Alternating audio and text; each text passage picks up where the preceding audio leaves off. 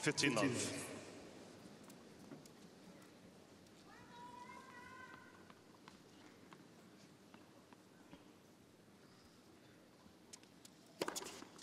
Thirty. One thing that Federer will need to do is to arrest a bit of a slide in his first serve percentages. He's been on the downhill run since round one. 63, 62, 58, down to 57 against Del Potro. 40 We knew it was going to be the case, but the way he's come out in this first game, he means business.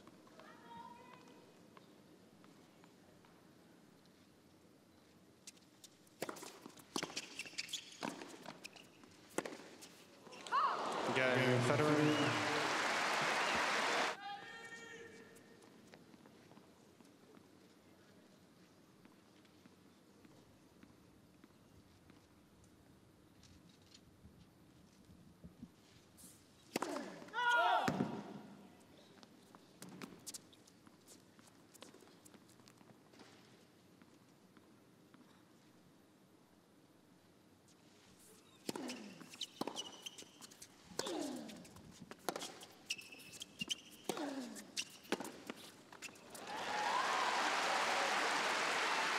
We talked about the first serve percentages of Federer. Rafa's been very strong in that area. The lowest first serve percentage he's had, 64 against Tommy Haas in the second round. He's had it up as high as 81 against Lukas Lacko in the third round. Well, you'd expect that from Nadal with his style. He, he doesn't uh, get as many free points from the first delivery as Federer. Net first serve. So his risk factor is a little lower. You'd expect his first serve percentage to be higher.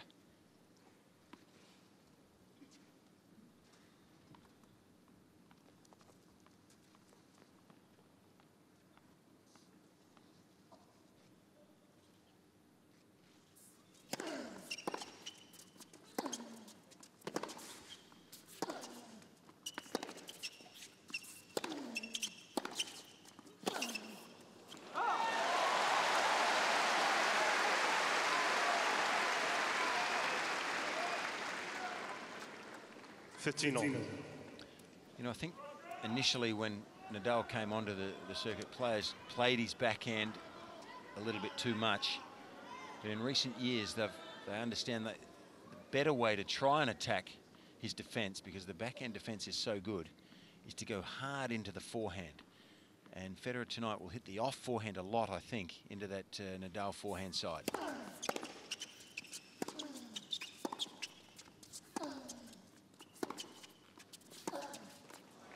Good early backhand there from Federer, stepping in. Just has the innate ability to take the ball on the rise on, on, on both balls, but that time with the backhand, beautiful timing. Took that ball early and draws the mistake. When Federer starts timing the ball like this early in the match, you get a very early impression of the way that he's going to be on the night. Please. And that would already be a bit of a worry for Nadal.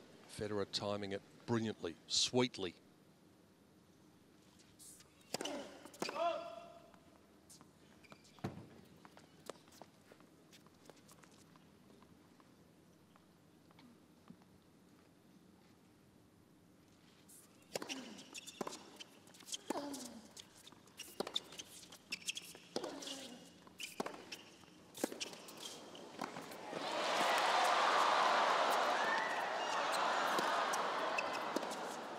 Gee, big retrieval from Nadal. He's pumped already. Roger missed his opportunity. He hit the volley, the high volley, too short.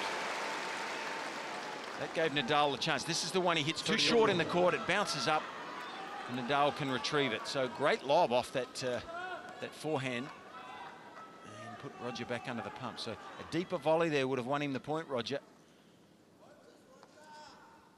Lesson number one for the crowd, don't celebrate too early when Rafa's out there. He will get to balls that you don't think he's likely to.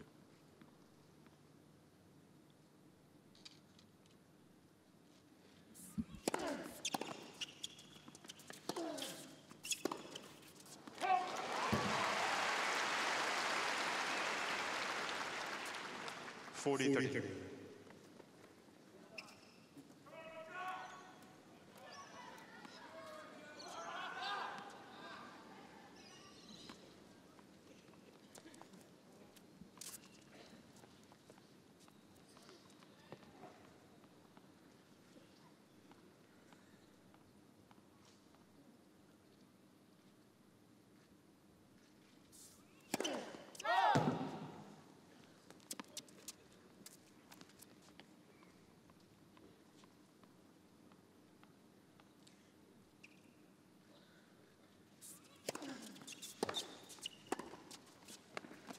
Deuce. And why wouldn't you run around that, that second serve, serve when you have a forehand like Roger Federer? Maybe, just maybe, the best forehand we've ever seen. With the versatility, the flair, the ability to hit cold winners off this side. Gee, he has great timing there. And he can hurt guys like almost no one else from that forehand side. Nadal's is a beauty too. It's a different type of forehand, heavier, more topspin, more consistent type of hit. But Federer has the flair that you rarely see.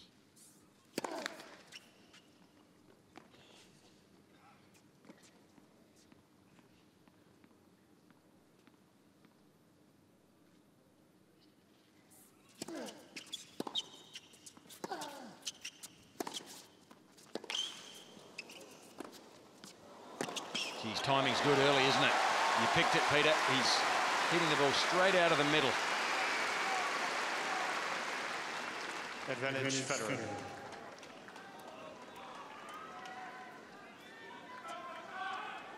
The backhand is a really good barometer of that. He has been known to spray a few at times, but there's just simply no sign of that. There hasn't been any sign of it during these championships. What a big blow this would be early on in the semi-final.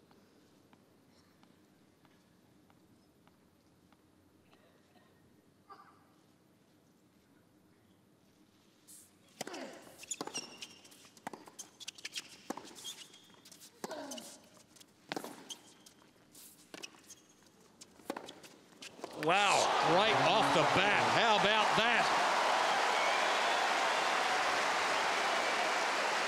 Hey, he's come to play. As impressive a start as you could wish to see from the master.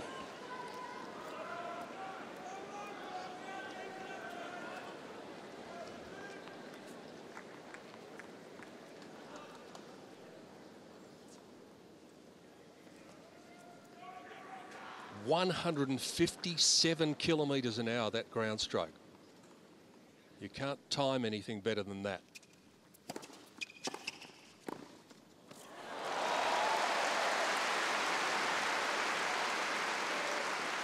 And, I like that tactic. You know, it's it's a diminished part of the sport, the serve and volley these days. But when you serve as well as this guy and rarely miss a volley, it's a great change-up, and it it just keeps Nadal guessing a little bit more on the return.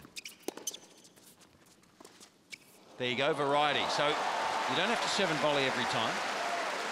You serve and volley once, it puts that thought into the head of the opposition. 30 love. What a master. He just, uh, he knows instantly the ball is struck by the opposition, what shot he's going to play next. Nadal so deep in the court, he drops it short. Federer was two metres inside. The the drop shot didn't have to be perfect.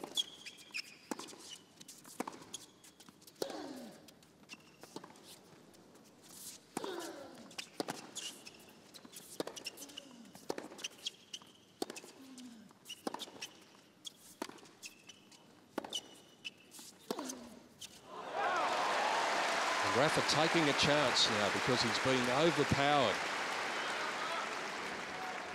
40 love. Uncle Tony gives a nod of reassurance, but there's a stern face on everyone sitting in Rafael Nadal's support box. It is very early stages of the semi-final, but the warning signs are there already. Aha. Well, I thought it was almost a perfect serve. Nearly 200 Ks, 197, out near the line. You don't expect that to go 40 for a winner. Right in the junction there of the sideline and the tee uh, and the uh, service line.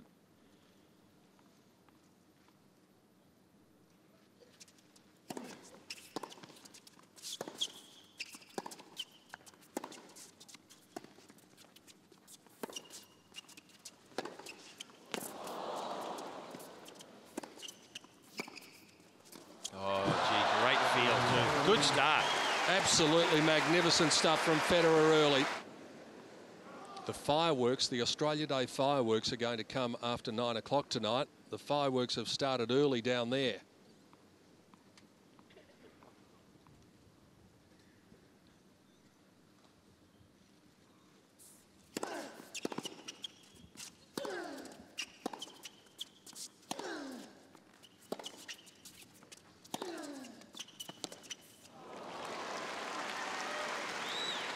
Fifteen love. You know, the, the nature of Nadal is to come out and not make a mistake early on. Tonight he's he's come out with that that attitude. That's normal.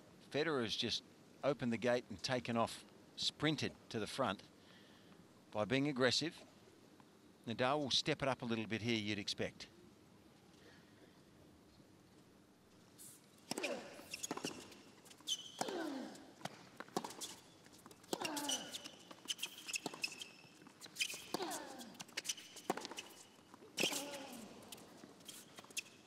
Whoops. Well, a rare mistake. Only had to get it over. He, he had Nadal cold there, didn't he? Yep. And Fitzy, I think that's a shot we're going to see a bit of from Roger tonight because two nights ago, in Nadal's match against Thomas Berdych, we noticed the fact, particularly with the return of serve, at times he was four metres behind the baseline. Yeah. He Well- does do that a lot. Yeah, he- he does. Uh, on this court, it's a little tougher to drop shot than on the clay. I, I like the forehand, the second last shot in that last rally from Federer, though. He's using that hard and deep early. 30, 15.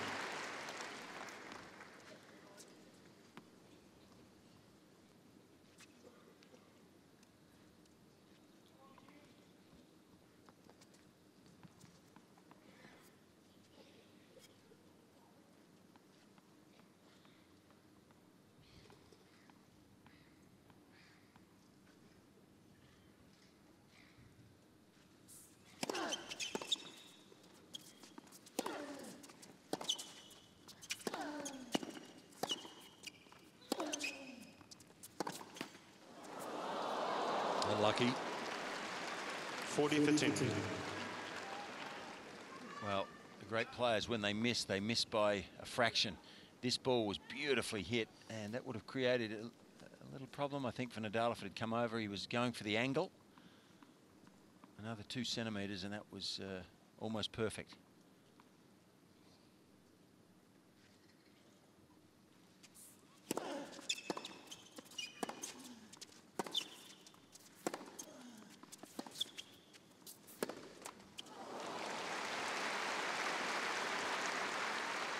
Is that something that we can expect to see a lot of from Federer, the slice and trying to get the ball low and just capitalise on Nadal in that area? Well, well, I think he incorporates the slice. That's his natural uh, uh, shot at times. It Depends what position he's in and if he's defending. He'll use it a little bit. It's it's in his natural game. But I think uh, I think he's going hard and deep uh, as early as he can in the rally, and he's trying to use the net a little bit, move forward in the court. He's just using variety early.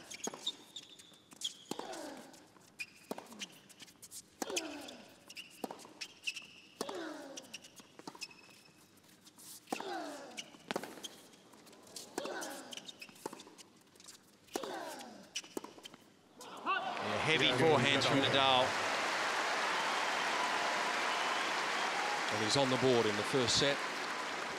It's going to be a hard day's night, though, by the look of it for three Rafa.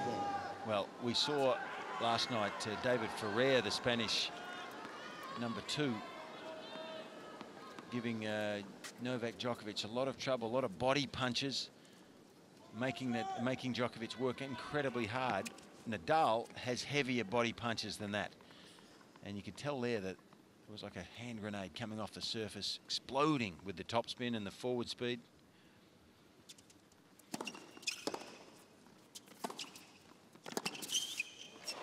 He's starting to settle into his rhythm now. Well, I think it always helps, unless if you go hard into that forehand, you have Lot to go real hard. So he's caught here a bit short, has to topspin the ball to get it over the high part of the net. That takes a bit of the forward speed momentum off the ball and gives Nadal a bit of extra time to get to his forehand.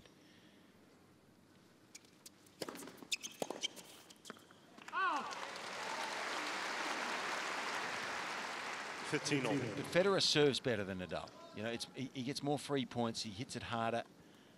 He won't, uh, like you mentioned earlier, probably have as high a percentage of first serves into play. But when he gets it in, he'll get a higher percentage of free points. So if he serves well, it's a big part of this matchup.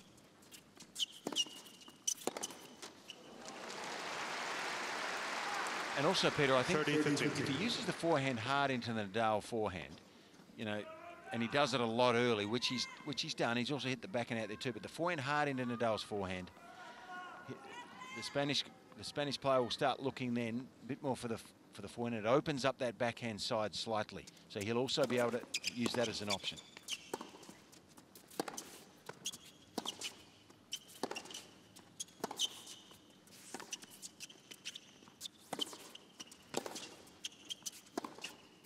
Gee, he's hitting that forehand well off. The off forehand, isn't he?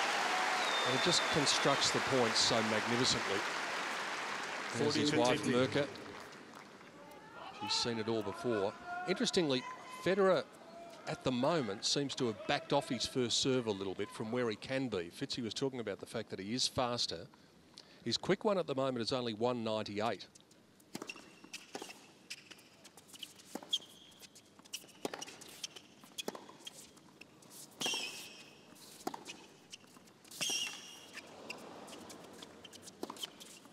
Well, it, it- this almost is a perfect start, Peter. Gee, he's playing well, isn't he?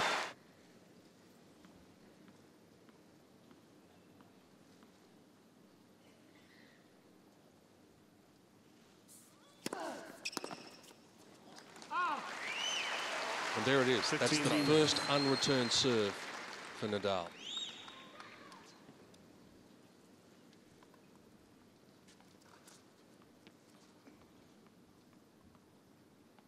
The great Ken Rosewall sitting in the background in the presidential box looking on.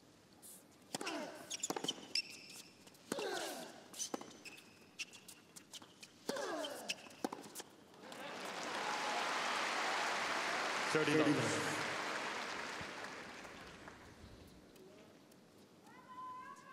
Well, we know he's a bull. Rafa Nadal, he will be there till the finish, no matter how long it takes. And he's making a mini stand right now to try and get back into this first set if he can, before it's too late.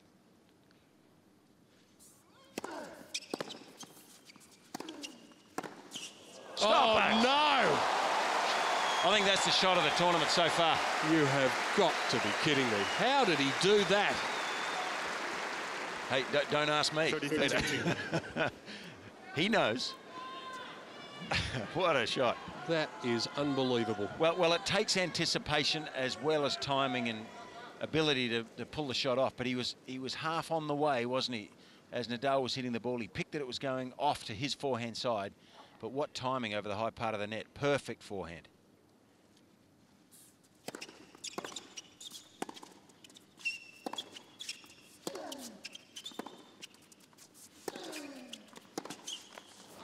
You know, the problem playing Rafael Nadal is that you have to finish so many of your points with 40, some 50. form of winner because he doesn't give you too many unforced errors. A bit like David Ferrer, but heavier ball.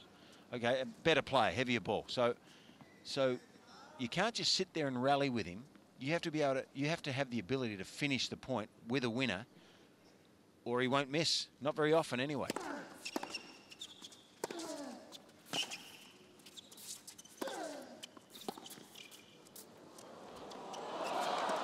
Awesome. It had to be perfect, Yeah. and it just about was. Well, I'm not sure I've seen him start better, Federer. 40, I've seen him play a lot of matches, and this is as good as it gets, I think, in the early stages. Perfect choice. You know, it's not just about hitting the shot, it's knowing and making a decision in a split second what shot to go for. That was unbelievable touch.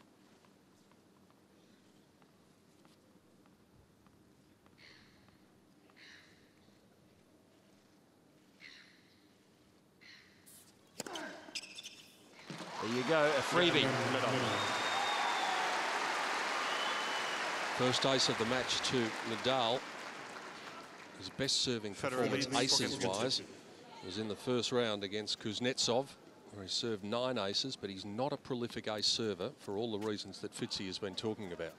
Uh, I, I think it's also interesting, as well as Rogers playing, and, and as well as he played that last game and the spectacular tennis that he played, Nadal still wins that game. So that's how well you have to play to beat Rafa Nadal. And if you miss the odd ball like that, where Love 15.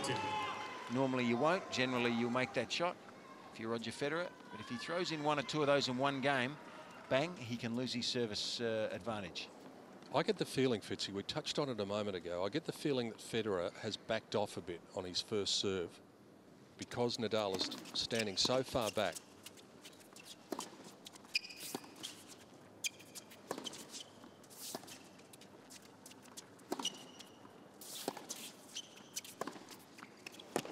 Oh, great construction there.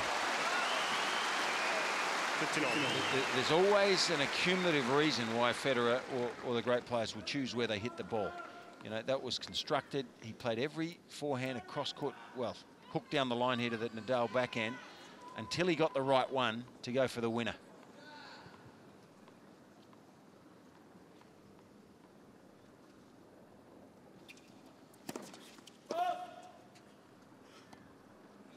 Not once so far in this match has he tried the low flat one. His quickest serve of the match, 198. He's capable of at least 10k an hour quicker than that.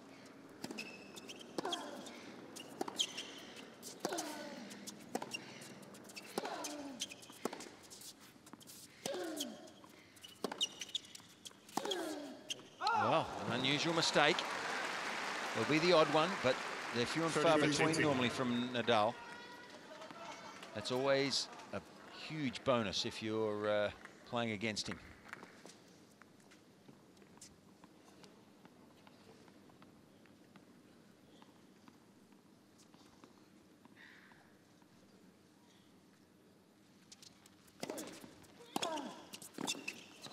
Well, he went for the drop volley. Okay, 30 all. so you sensed a slight change here, Peter, and there has been. He made a couple of errors here that he didn't make in the first few games. And look, you can't play perfect tennis all the time. He goes for the drop volley. Maybe a fraction off centre there, and an unusual miss.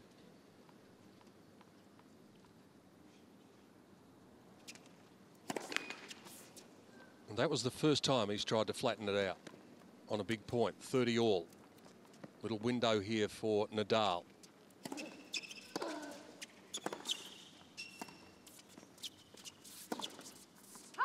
And the window just got wider. 30 40.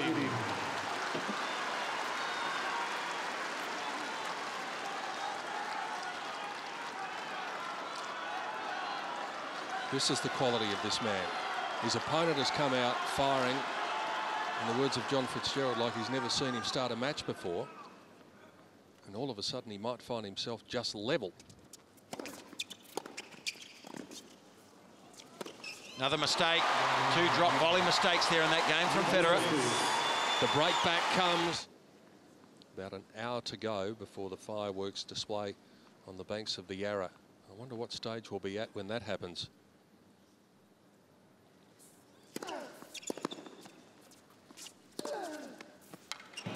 Fifteen.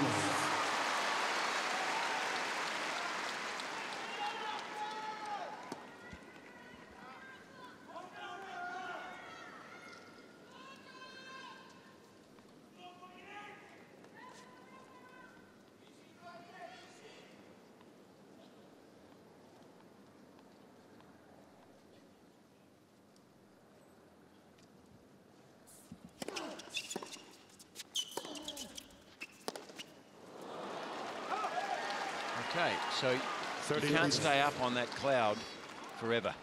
So he's just uh, had a slight trough, Federer here, in his form. Impossible, I think, to keep the level up that he was going at. Now he has to try and just regroup, play solid here. Looks like it's going to be even, possibly at four all. He needs to.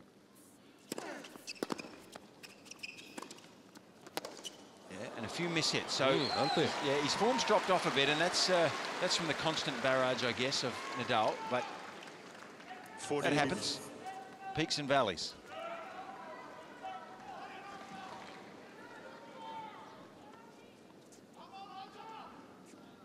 At one stage in the third game, it was 12 points to 3 in favour of Federer. Since then, 17 points to 11 in favour of Nadal.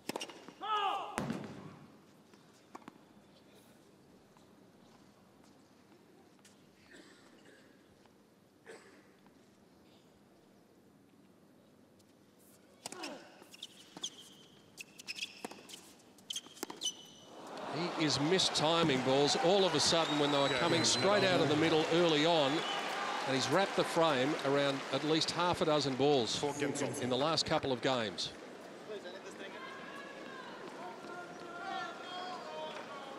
Unusual there that Rafa is actually changing rackets. You can see that coming off the frame there of Roger. And it talking in his hand.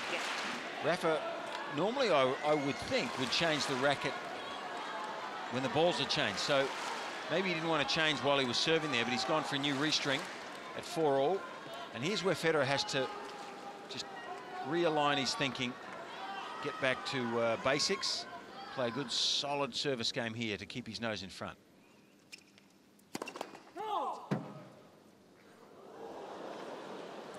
Ooh from the crowd. The ball bounced up and clocked someone right on the noggin.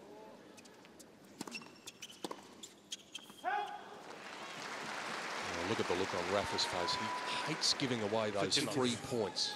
You know, it's funny, the players, I think Lendl started it years ago, Peter, you know, the change, when the balls are changed at seven and nine and then ongoing nine games, he would change his restring. So you might think his restring had lost a little bit of tension in those games and then when the new balls came along, they were a little faster through the air, he'd get a slightly tighter racket again.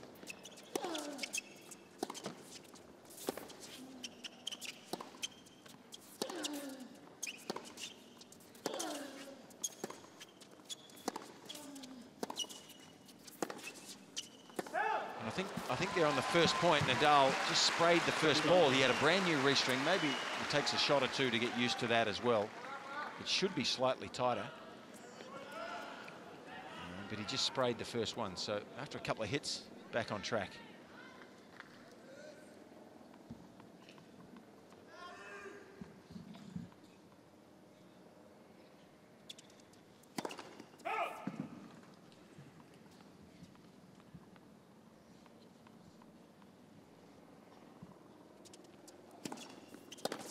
Oh, great second serve.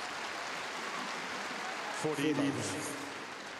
You know, he is one of the great service Federer. Under pressure, it's amazing how often he makes the first serve and then when he needs to, hit a great second serve close to the line. Pete Sampras was probably the best I ever saw at that.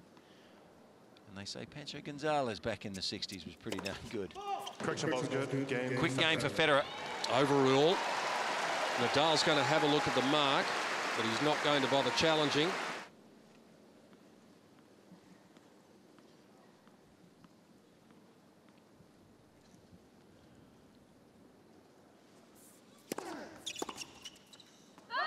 Love. First set's always incredibly important, isn't it? In these big tense matches, important matches, get your nose in front. Guy wins the first is not always, in the end, the winner, but uh, it always tips the scales slightly in the beginning.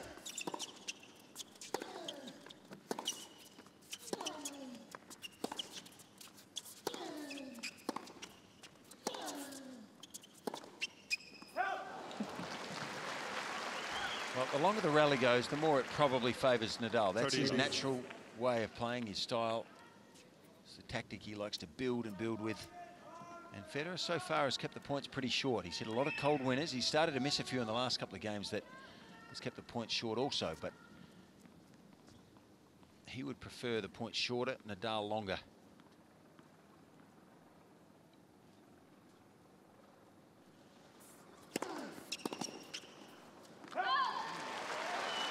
Forty.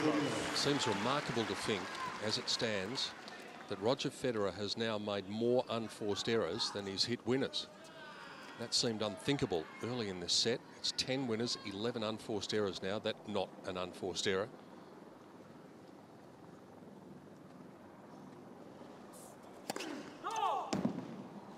Nadal is in the same boat.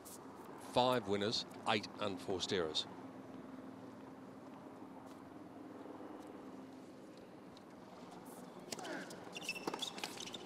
Great serve there. Federer Nadal, had uh, premeditated a move out wide, Five games on. but the serve beating him too good, too close to the line with all of that side spin that Nadal creates. All of a sudden, Fitzy, the serve is dominating. The last three games held to love.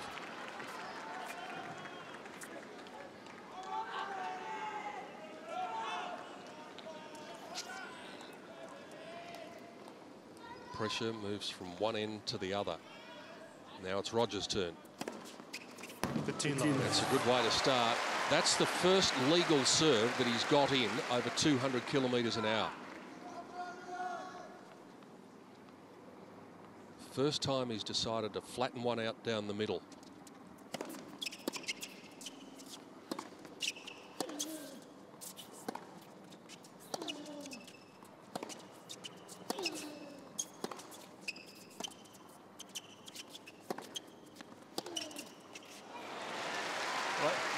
So important, I think, against Nadal. He dropped the ball short and he he can really rip it back high and with so much bounce. This this backhand really deep. So he has less time there to hurt you with his natural topspin style. So Federer trying to hit the ball deep on both sides, I think. The deeper he hits it, more effective it is.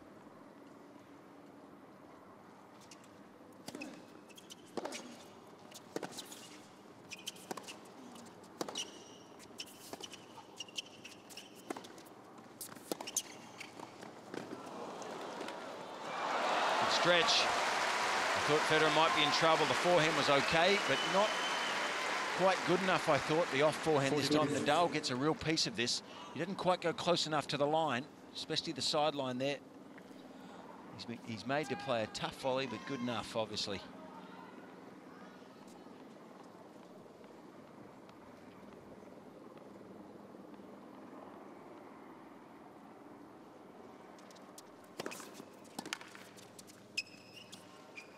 Oh, What was that? Well, you rarely see that.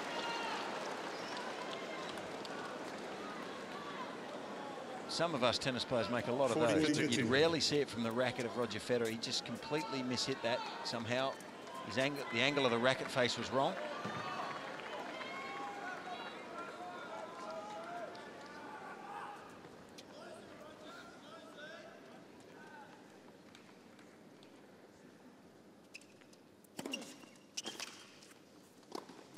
Volley.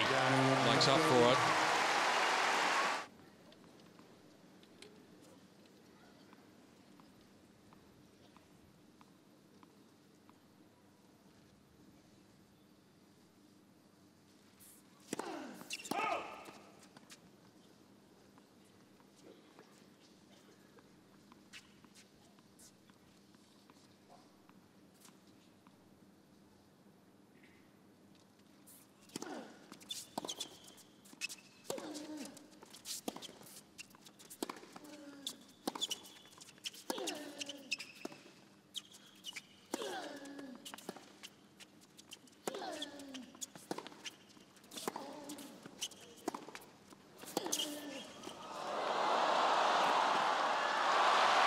Well, I just hope uh, Federer didn't take any skin off those knuckles. Great forehand down the line there from Nadal. This forehand, look, a good shot against uh, a normal player. I hope the skin didn't come off there. It is a very abrasive court service, uh, surface, and if you happen to scrape your hand along it, I've seen many players lose some bark over the years.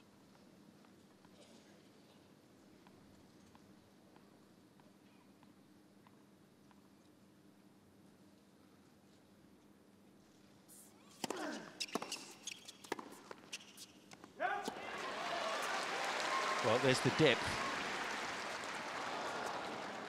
If he's going to miss Nadal, there's a, there's a slightly higher chance it'll come off a deep ball from the opposition. 59. 59.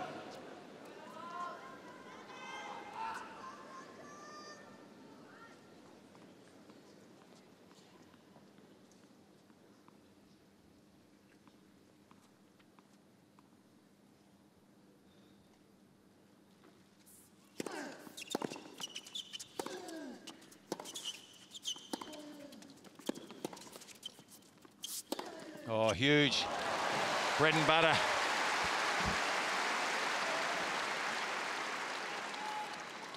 Thirty fifteen.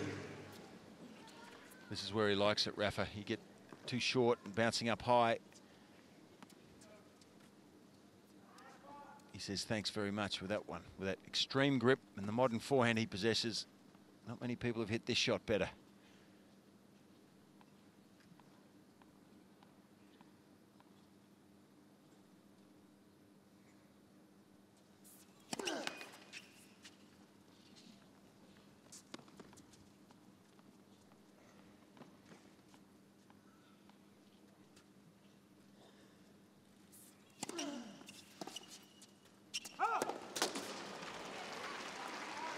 Well, he won't be happy with that. Fifteen. Chance to really ask Nadal a question in this game. And it was off a second serve that was only 131 kilometres an hour.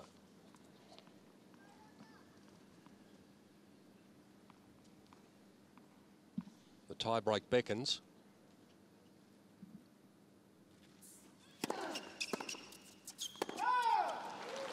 And the tie break is with us. You have a look at their respective records in tie breaks. Career tie breaks, Federer has a better record percentage-wise. He's won almost two of every three that he's played. Nadal is Both players receiving 140 wins, 87 losses. Federer 307 wins, 157 losses. So in percentage terms, on those raw figures, you would think he might be a slight favourite. But look at the 2011 figures, almost identical.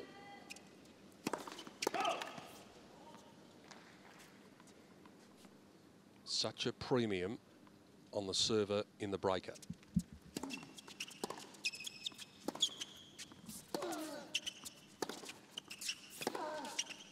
An important start. One zero. Federer. Rafa not happy, feels like that's an unforced error.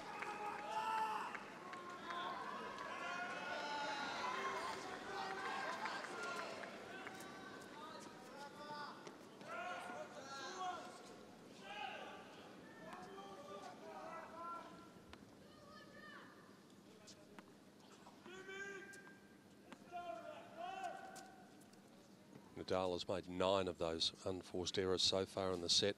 Federer five more, a very high number for him, 14 unforced errors. Didn't look that way early on.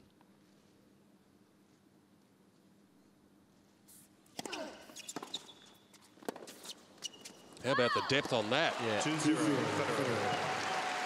Well, it's more risk, isn't it? It's higher risk when you hit the ball deep. But it can draw the error. Great depth there from Federer.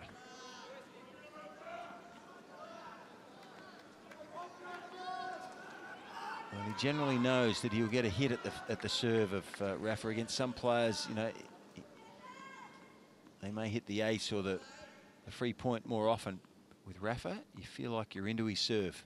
Just hard to beat him from the back of the court once you get it in. Miss hit. Two one. Federer. Uncle Tony, stern-faced. He's a man at the other end of the court, so he can't really get too much of a message or much encouragement to him at this stage.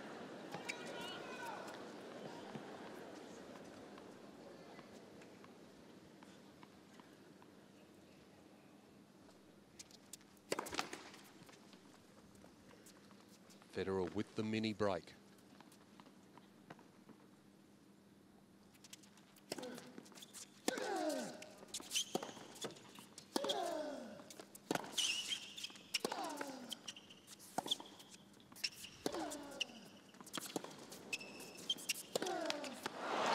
Well, Rafa there with the upper hand early in that rally. After the first two balls he hit, was Paul Annacone on the right of screen. Mirka in the front.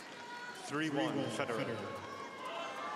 Pretty amazing to have coached the great Pete Sampras, followed by maybe the even greater Roger Federer.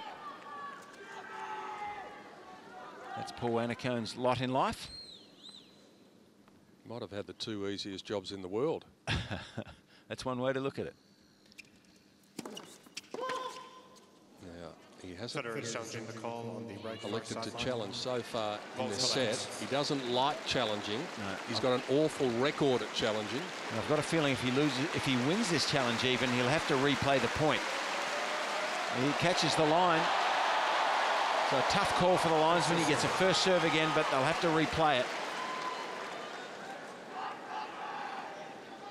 And to his credit, no histrionics from Federer, just accepts Jake Garner's decision from the chair and gets on with it. See if he can duplicate it. Down the middle, that'll do. Well, there's the difference. The odd more free point, Peter. And if it comes at the right time, it's invaluable. Quickest serve of the match too, at 205. Federer well and truly in the driver's seat.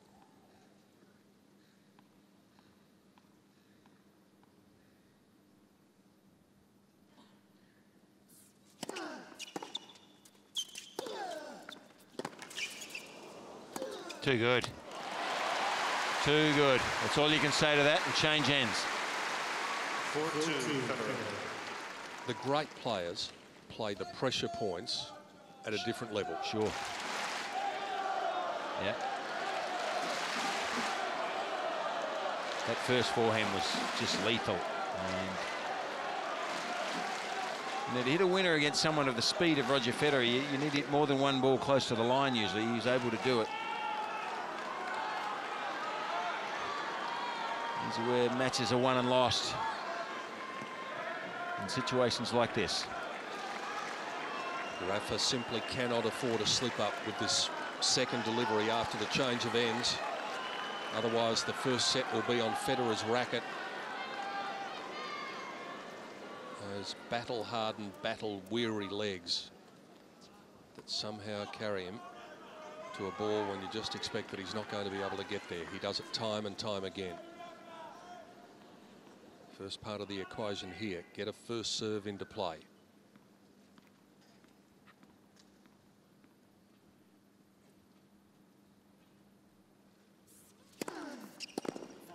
Federer is challenging the call on the right center service line. Well- It's called in. I think he feels like he might have made a mistake here, Roger. I'm not sure. If he's wrong here, he loses the point. If he's wrong, he loses it. He's wrong. Four millimeters. 4-3 Federer. Gee, that was a big call because he got that. you know, he got that ball back into play. He was in the point. So still with a mini break in hand here, Federer.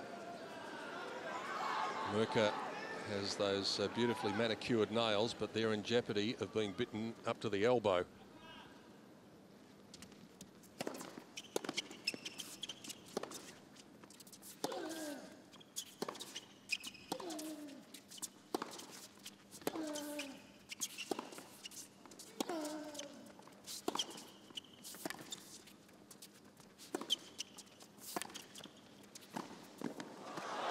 Wow, awesome. Perfect placement. Rafa was looking at the lines person as he was running towards him in the hope that the right arm was going to go out, and it didn't move. Three challenges remaining. Peter, if we've ever seen a complete player, uh, you know, you'd have to look at Roger Federer. He, his foot speed there was like a cat. First step gave him the opportunity here. He knew he knew Nadal would float this backhand because he had him stretching.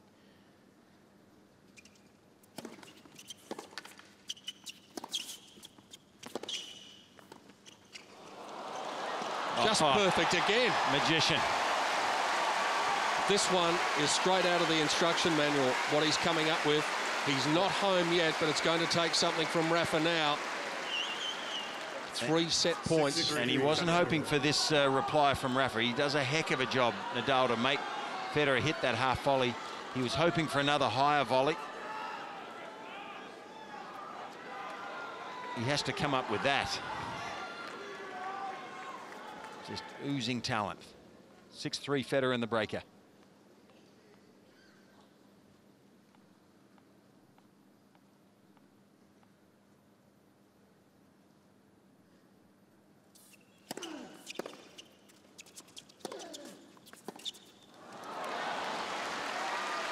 he's going to have at least one opportunity on yeah. his own serve, but Rafa doesn't need to worry about that. Just get this point over and done with. Well, Federer needs to win this now from his point of view because a loss of this set from this position would really hurt.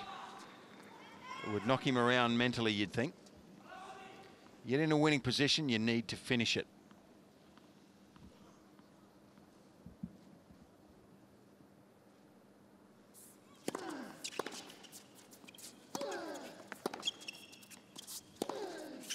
He's going to need to use his own serve. As usual, Nadal grits his teeth. 6-5,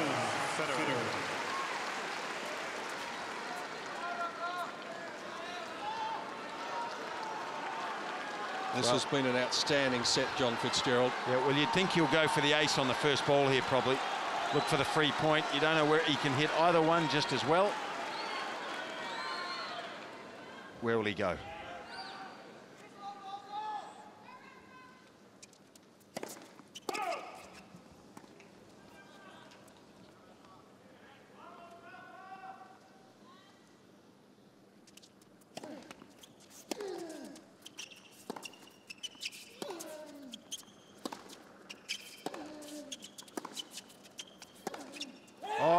A rare one. First set's over. Nearly an hour it takes. Federer looked as though he was going to achieve that result early on. He had to fight so hard to do it, but he's got the first blow in the semi-final. Seven games to six. Rafa looking to fight back at the start of the second.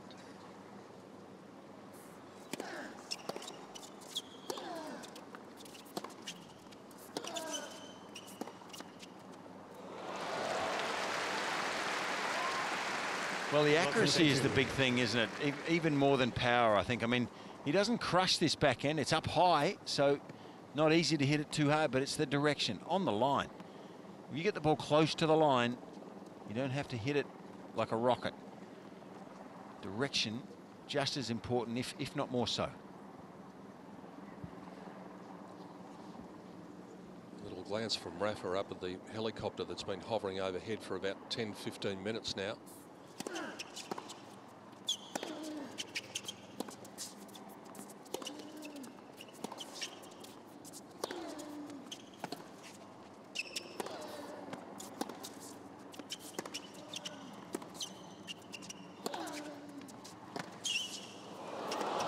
Oh, how about the squash shot? Well, gee, what else can he do?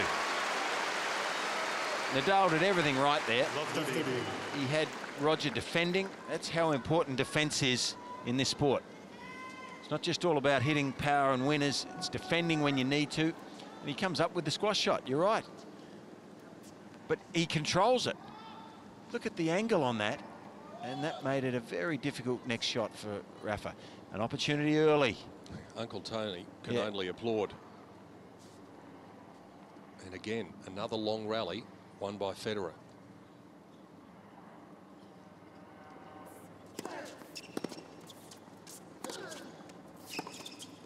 Oh, I'm not sure he was all that convinced that the serve was in.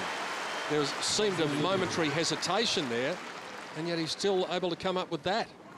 Well, he's starting this second set the way he started the first. Yeah, he is. And the reaction from Uncle Tony was was a really good, fair one. I think he thought, well, my lad Rafa played a good point in that second point, and he just applauded Roger's brilliance. Well, he's done it again in the third point to go to love 40.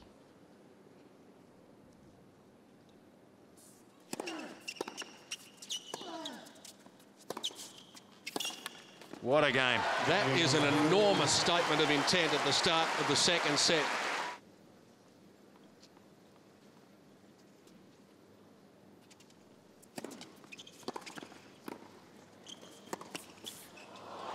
Yes. Rafa's dad looking on, a little concerned.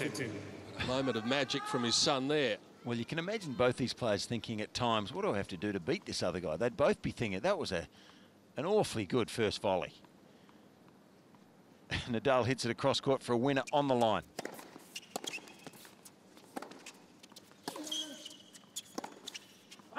This is where Federer will need to be careful. Love to be. As amazing as that first game of the second set was, it's only a break of serve if you hold yours. And he's not heading in the right direction for that to happen just yet.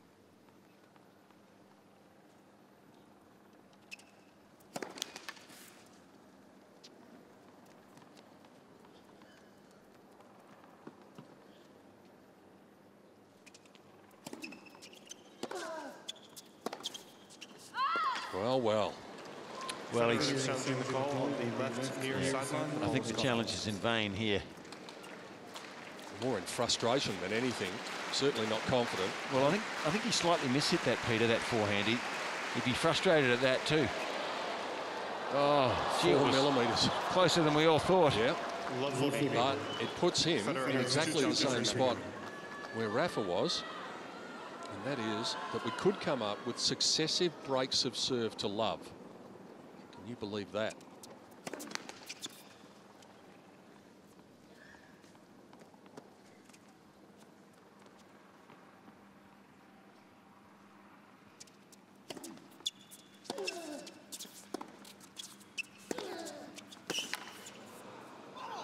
The odds makers bet on anything these days, but if you had have gone to a bookmaker and said, look, I want a price about uh, successive breaks of serve to love in this match, I think you would have been able to write your own ticket.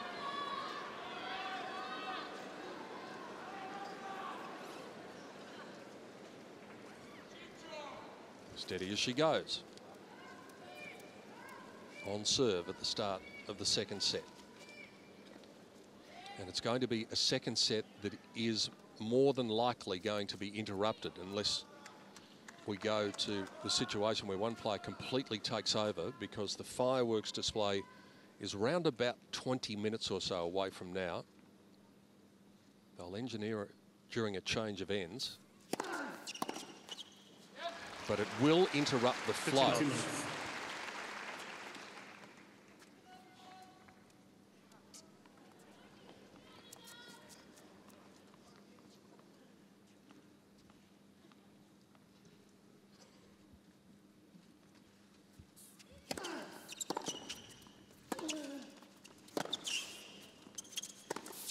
Too good.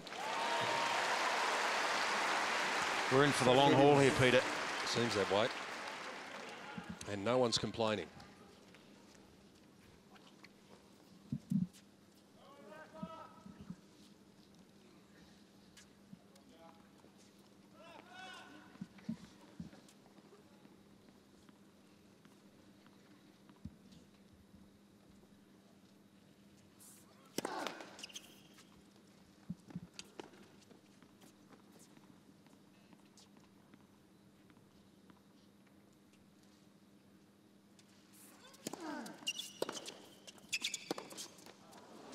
Well, he's certainly intent on running around onto the forehand side, 30 15. especially if he gets a slow second delivery from Nadal, and he got one there at 136.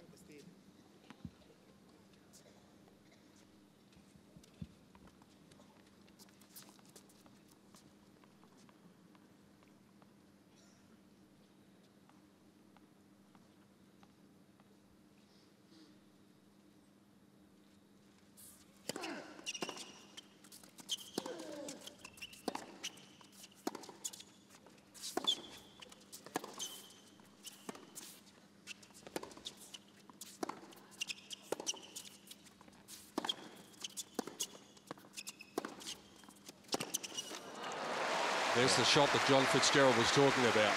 Yeah, that, that's the shot I think that can win him this match. 30 on. The off forehand, the off forehand, and or down the line to the Nadal backhand, down the line to the left hand. Excuse me, the left hand is forehand. And he needs to flatten that out. If he gets it close to the line and hits it consistently, he'll win a lot of points there tonight. It's so so it seems.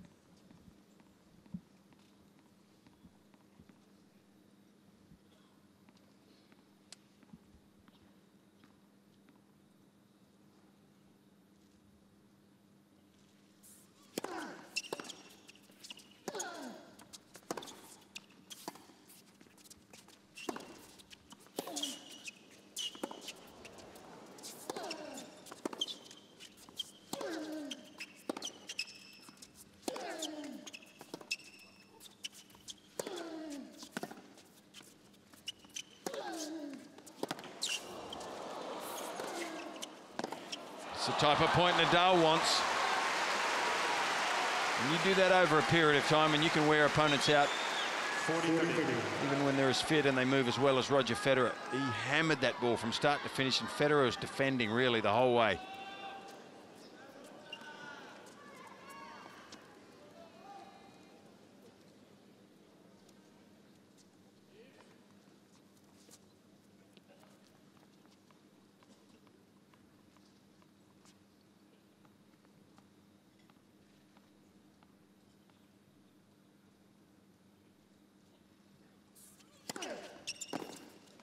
Game. Well, it's only a regulation hold of serve, but it's noteworthy in that it comes on the back of successive breaks at the start of the second set. We're on serve.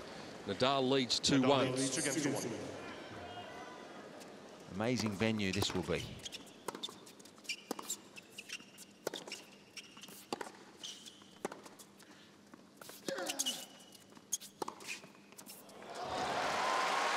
There's that off forehand with Federer taking advantage of the fact that Nadal was almost back with the lines people.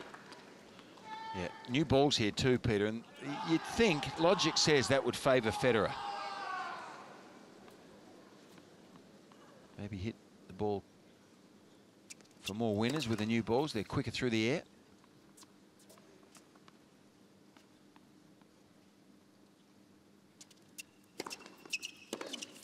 Gee, great second serve, wasn't it? Well, it's underrated, his serve. You know, people don't talk about it that much. Sneaky quick, as we Oh. said. He, he can crank it up to 210 at the very top. Yeah. But he, he gets so many serves in between 203 and 207. Yeah, and he And there's one. so he can hit it fast. He can. He, he's incredibly accurate, and when it matters, he always serves well. Rarely does he not. Underrated part of his game.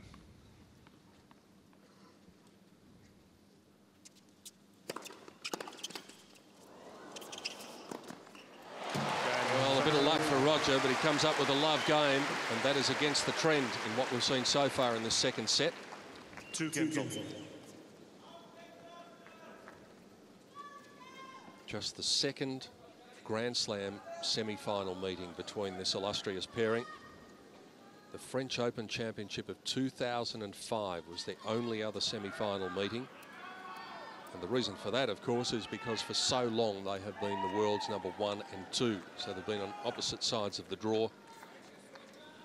Incidentally, Nadal won that semi-final in four sets in the French Open in 2005, as he so often did on the clay.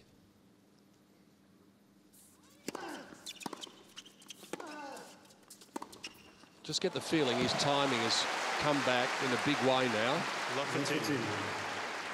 This is a period where Rafa is going to have to be pretty careful.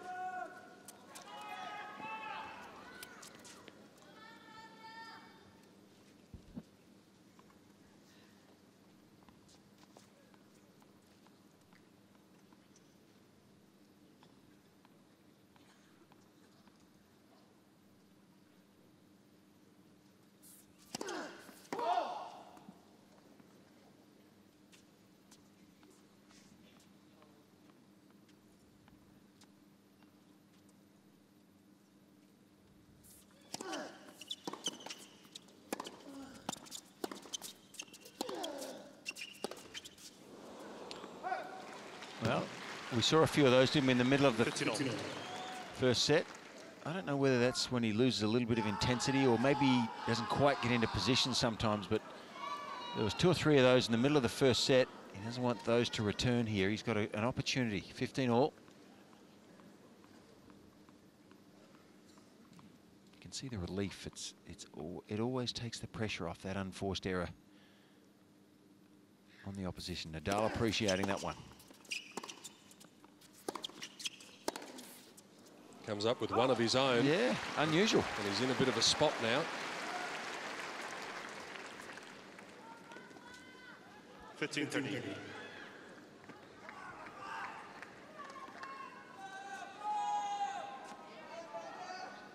Mirka looks more concerned than Paul Annacone just at present.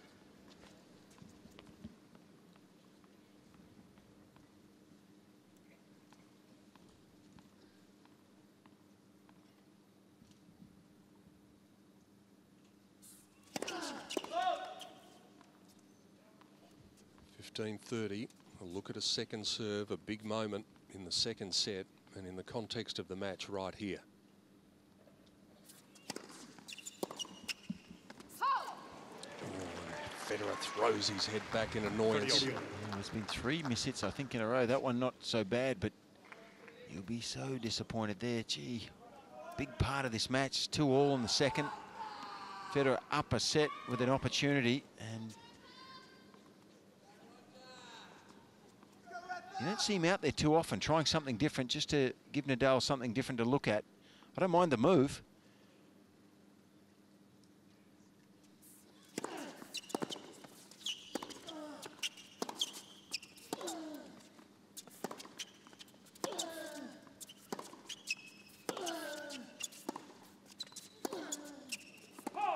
Well, he can't uh, understand, I think, why he's making so many errors on that back end tonight, Nadal. He rarely does it. Just, and when he misses, he's hitting long tonight, it seems. Not a ton of these errors, but some annoying ones at the wrong time. He's made four unforced errors in the second set, three of them off the backhand side. Opportunity now for a third break of serve in the second set, but for Federer to once again pop himself in the driver's seat.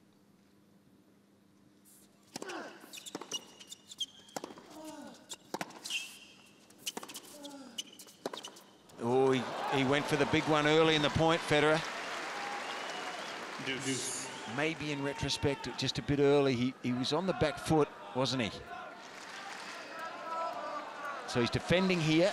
He's certainly not in control of the point there. And decides to take the risk early. Not the sort of thing that we see him do a lot early in a rally. Just five shots in that rally. It's still very much on the knife's edge, though, this fifth game.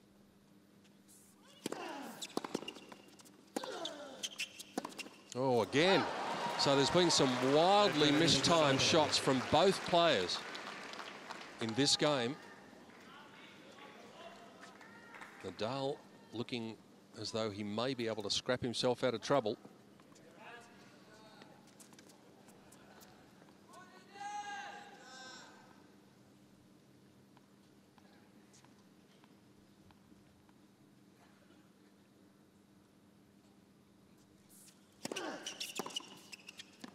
That's a very good hold. It was. Really strong for Nadal. Down a break point. He keeps his nose in front. 27th meeting between the pair. Federer looking to come up with win number 10 against his great foe.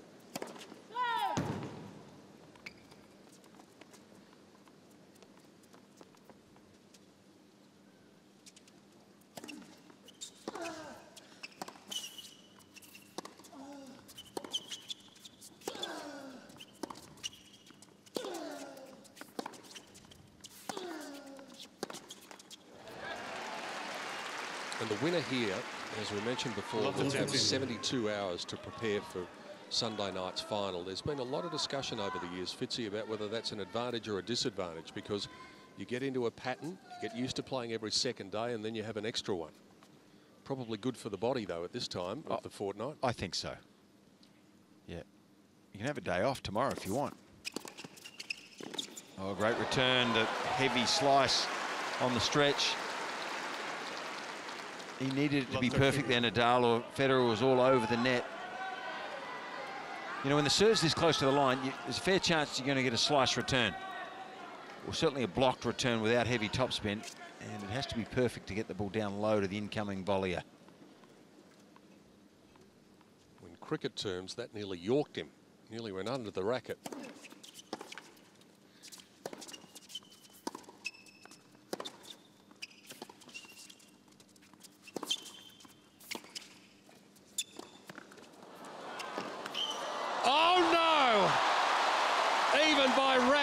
50 standards. That's one for the highlights reel.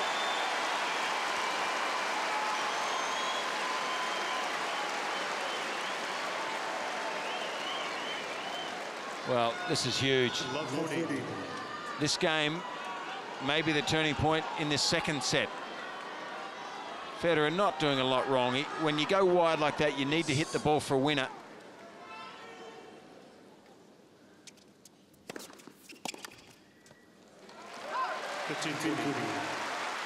This is where you need the serve to come to the fore if you're Roger Federer. There's the reaction after that unbelievable shot from Rafa, and what a time to do it as well.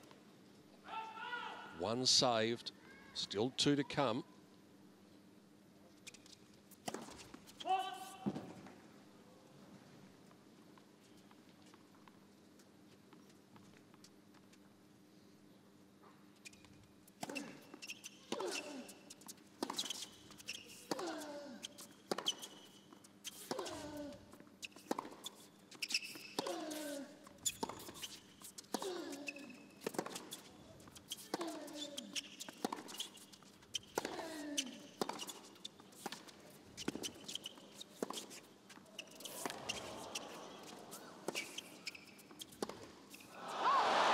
Well, a change of pace. Sometimes it can be inviting disaster, other times it draws an error. 30 40.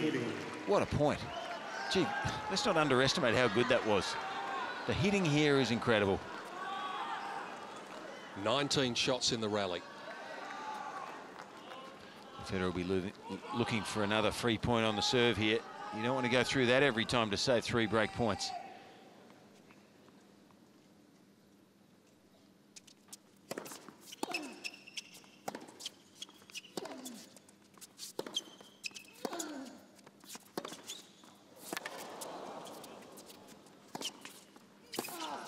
Unbelievable.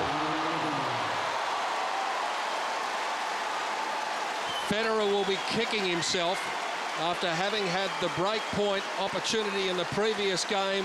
Nadal puts the foot down, comes up with two of the shots of the tournament in the sixth game of the second set. And now maybe he's on the way to locking this thing up. Well, against mere mortals, that would have won the point. How's the defensive skills? Earlier in the point, Nadal did it off the forehand. The great players defend. They don't just attack.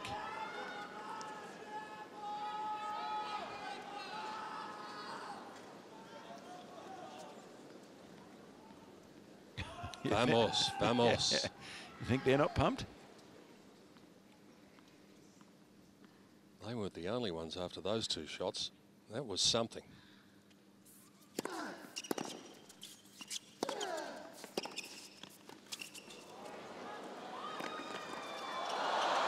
We got away with it. It was a bit lucky. Nadal guessed the right way. 15. This is the one here where he could have put it anywhere. Nadal anticipated it beautifully, but he just couldn't get enough on the defensive lob.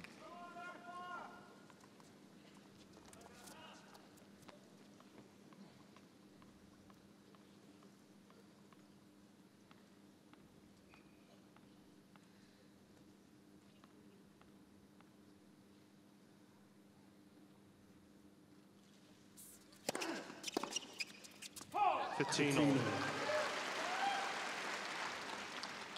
Remember their comparative court time coming into this semi-final. Nadal had been on court for in excess of five hours more than Federer. 12 hours 51 to 7 hours 38. With a mere mortal, you would think that that would come into play as the match draws on. In Rafa's case, perhaps not.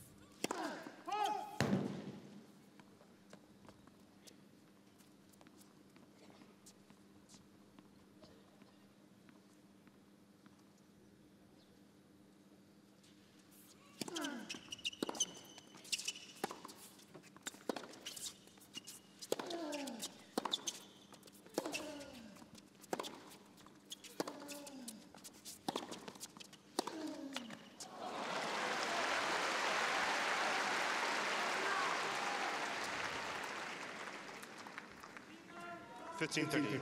Well, constantly, players that play uh, Nadal would feel like there's a hand grenade coming at them. The heaviness of shot that he has. But you know what? When Federer gets a forehand of his own, he puts a guy on the back foot. And you can see there Nadal's weight going back. hits a lot of his forehands like that, but the weight of shot from Federer there was quite outstanding. When he gets the short ball on the forehand tonight, he's going to try to put it away. And why not with that shot in your repertoire? Good first serve. 30 all. 哦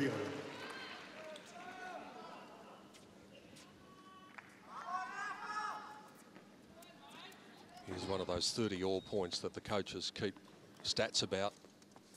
So important here, in particular for Nadal to be able to cement the break.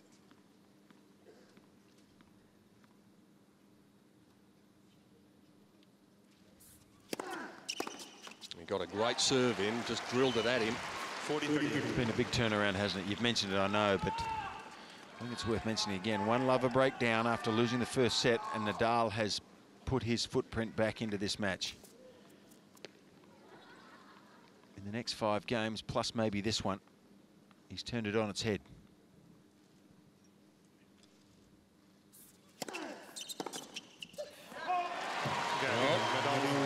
Is one game away from taking the second set. The fireworks interruption is not that far away, and Rafa probably wishes and hopes that it doesn't come now.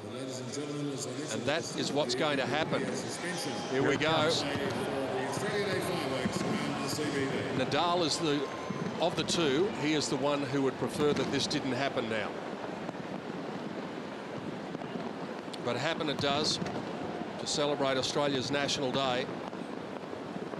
We get the opportunity from the banks of the Yarra with Government House, a speck in the distance in the Botanic Gardens. To wonder at this spectacle, but we're wondering at the spectacle that has taken place before us on Rod Laver Arena as well.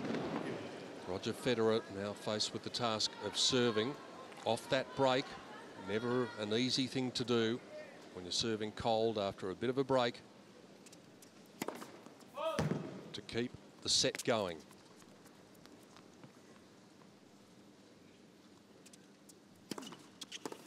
And there you go.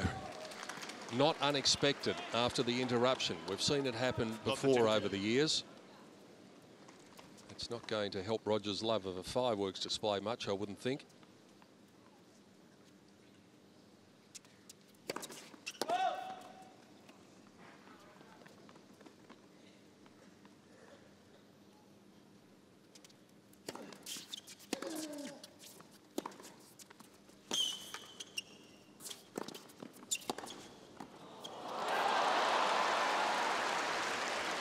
Love 30.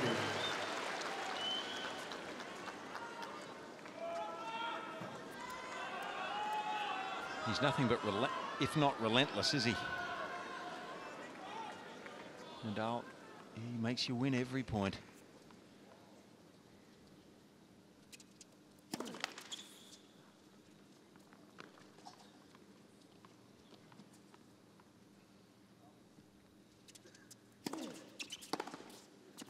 Oh. Well, amazing how this set looks like it might be 6-2 and it was one lover break to Federer. Yeah.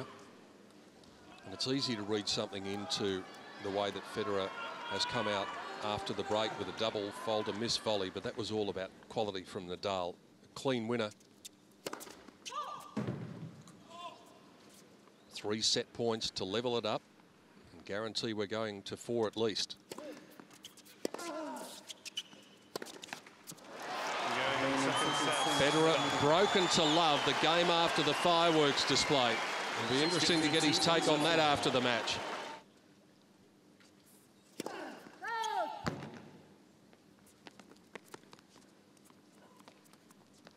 Advantage for Nadal as well.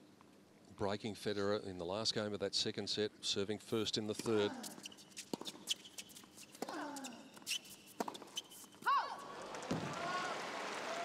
Well, he is going to run Fifteen around two. onto that forehand come hell or high water, it seems. Yeah, I still like this forehand though. He, he- he just misses this. What a beautifully struck ball. I like it when he goes for that. That hurts Nadal and worries him when he goes hard and fast with that forehand into the into Nadal's left-handed forehand side. That first serve. Who's favourite right now? Well, I, y- I think you always go for the guy, don't you, that's won the previous set. Yep. but they've had so many five setters over the years. A five setter here in the final in 09 when Nadal won.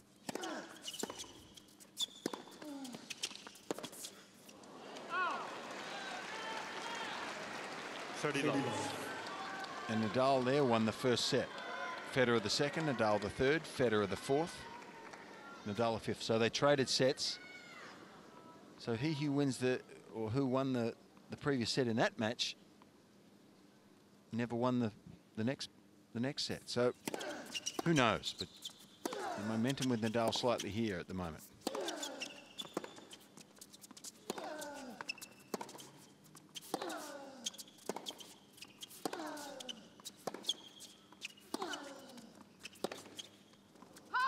Correct about good for the points. Gee, that's a big miss from the lines person. That hurts.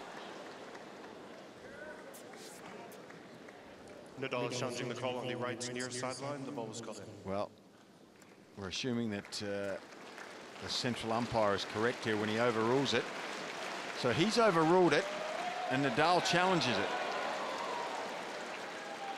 And always, I'm sure, a heart starter for the central umpire there, but he was correct. So it hurts uh, Federer. They have to replay the point.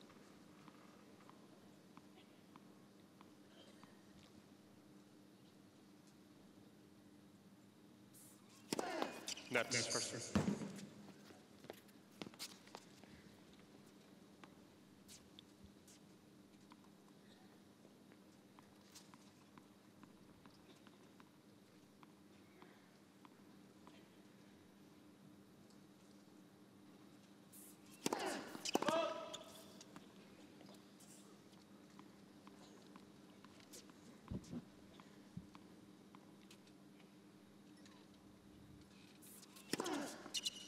Federer trying to run around onto the forehand, give himself some room. Thought he was going to get the one down the middle or the body serve, and he didn't. Yeah, he doesn't go there too often, Nadal. Probably more likely to go there when he's up in the game. The second serve wide to the first court is rare for him. He usually fades it into the, the middle.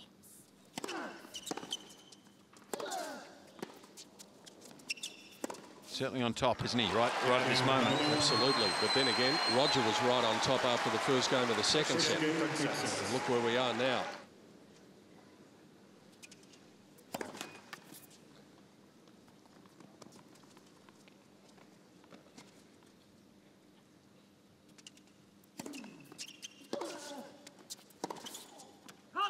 Gee, he's uh, he's having a, an ordinary patch here, Roger, by his standards. This is a bit worrying for his camp because th this is a big game here.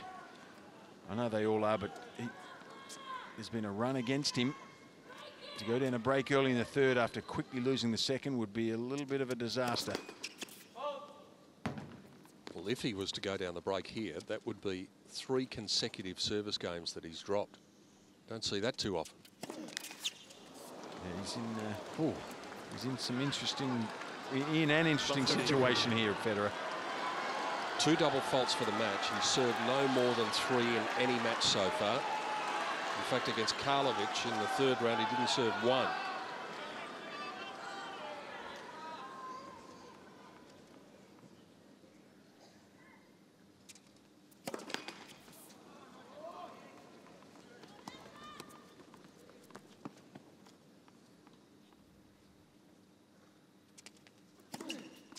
Oh, goodness. Amazing. Well, he's lost his rhythm. He Federer is has. the call on the left serve. The ball was cut in. Well, he's challenging, but he's all he's done here is burnt a challenge. Probably just give himself a bit more of a breather. This is extraordinary. He was broken to love at the end of the second set, remember, after the fireworks, and he's in danger of having the same thing happen here.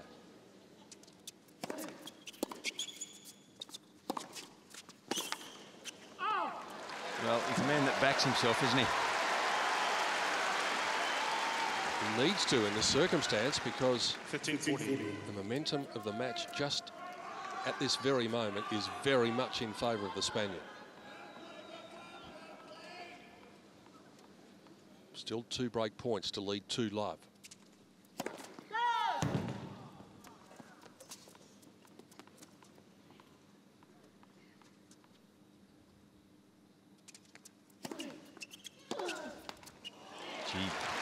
Well, Nadal having an issue there. That's unusual for him. Now, second serve, you'd count on your hand how many times he does this. Again, though, look where he was standing, Fitzy. Three metres behind the baseline for a serve that was 156. That takes a long time to get to. Yeah. Well, he plays the percentage. He wants to get the ball back into play and then start the rally. That's where he feels most confident.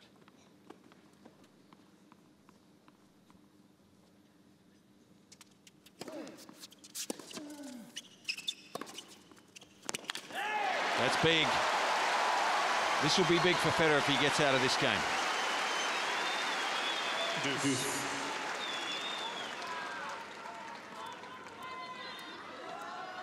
Nadal getting jammed by the, the curve of the serve causes him to drop the return short and then look out for Federer's forehand. Back to Deuce.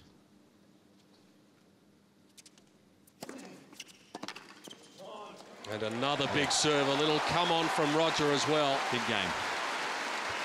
As John Fitzgerald said, this would be huge. This would be as big a service hold that he has had in these championships if he's able to pull it off here.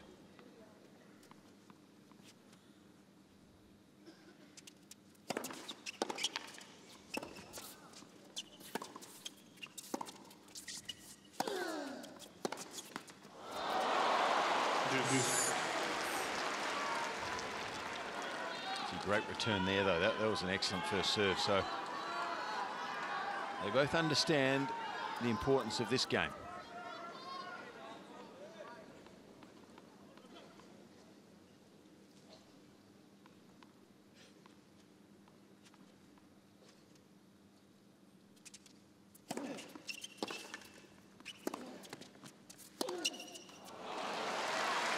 You know, there's been some strange tennis here, really. Nadal's missed a couple of balls in this game that are highly unusual for him. Not sure if I've ever seen him hit a forehand like that, where the ball just falls off the face of the racket. Is that a little bit of tightness?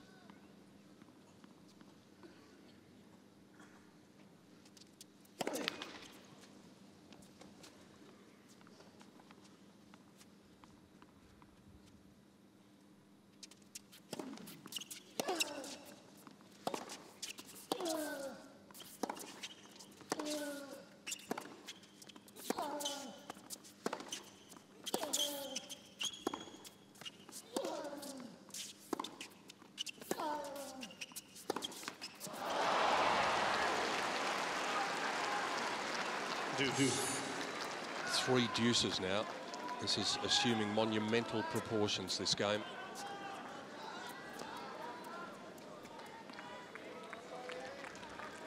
Federer will just take so much confidence out of it if he's able to hold here. Just restore a bit of the equilibrium. If it goes the other way, Rafa well and truly on top.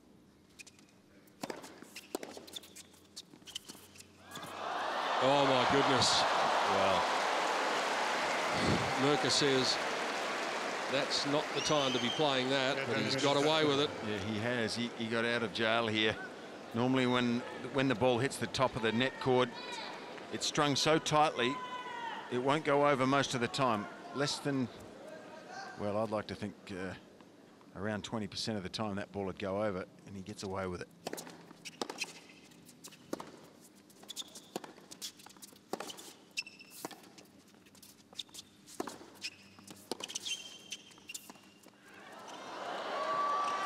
Oh, he missed it. He got there in time. A little unconvincingly, but that is massive. Well, it was, and a must-win game, wasn't it, for Roger Federer? Because he needed to stop the momentum, and he can. He needs to continue to stop it. You're at all concerned about the choice of shots that from Federer late in that game, Fitzy? Well, well the, that one I think was the right choice. The, the other one, debatably, I mean, he had a short forehand sitting there on the on the previous point. But you know, the variety's good. I mean, I mean, you can't just keep hitting the same shot to Nadal. He'll get the majority of them back. So you need the variety, but I guess you need to choose the right point to do it on.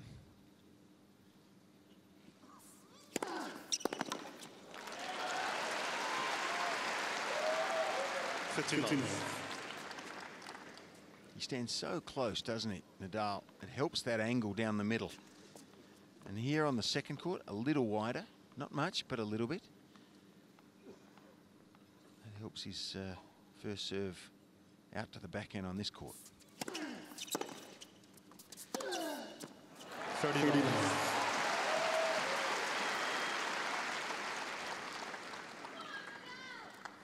He looks more dangerous, doesn't he, Nadal, at the moment?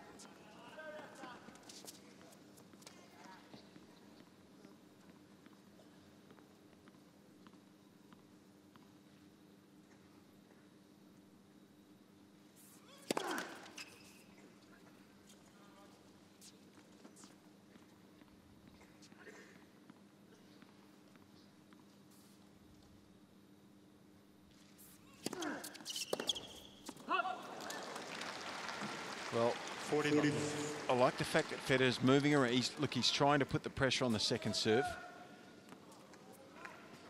Rafa, he burnt him once out wide with the second ball, but he doesn't like to go there out wide to the first court.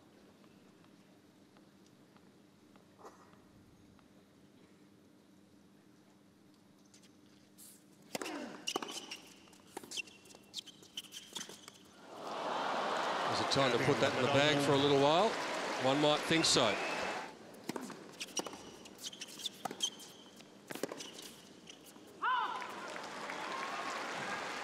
Love.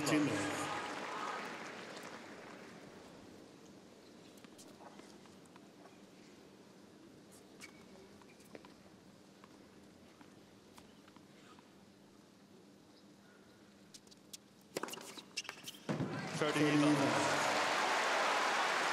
First one for a while. And as the match wears on, that, that's an important column. You match that with the unreturnables. It's important for Federer, it really is. Forty love. Just takes the pressure, two in a row, takes the pressure off. And he needs to hold a few service games easily, revert the pressure back. Because Nadal's got more pressure on him at the moment, moment than, than the reverse. Well, that game lasted about a minute. So he gets a breather.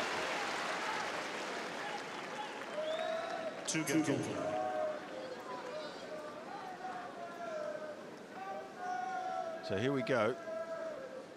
New balls coming out. Yep. And Federer goes for the change of racket. I think he likes to change it when he's receiving these days. So if he had been serving, he might have either changed it the game before or the game after. Seems to have altered his take on that.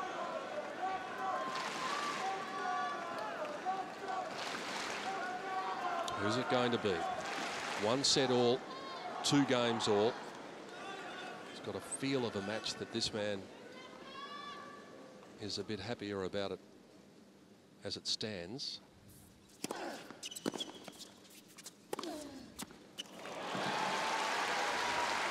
That could all change very rapidly though. Fifteen love. Unforced errors are 33 to 19. Federer having made 14 more. Forced errors are about the same. Federer's plus five in the winners, 24 to 19.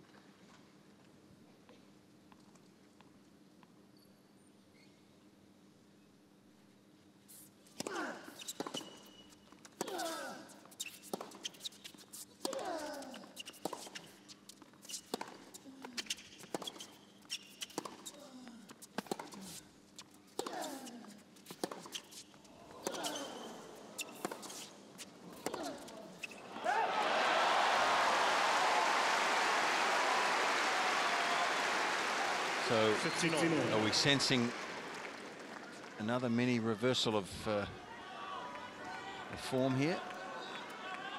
Momentum change slightly. Federer stepping it up again.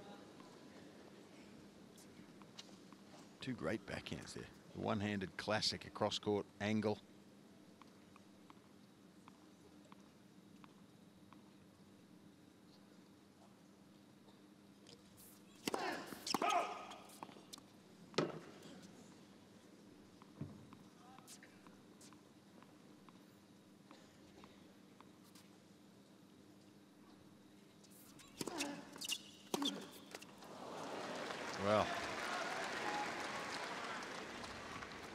30 15. Looked like a mere mortal there. He's only 143. Absolutely nothing on it. Yeah, the body weight going backwards a little bit. Yeah. He wants a forehand. But the angle of the second serve uh, out there from the left-hander just complicates the issue slightly.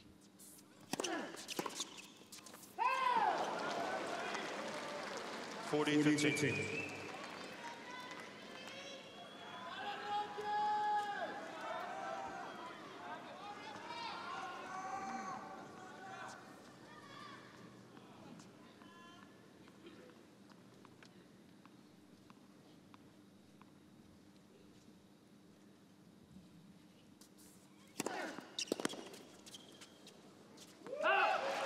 two, it's the Spaniard who is holding serve more easily at present. He's only dropped one point on serve in this third set. and He leads 3-2 on serve.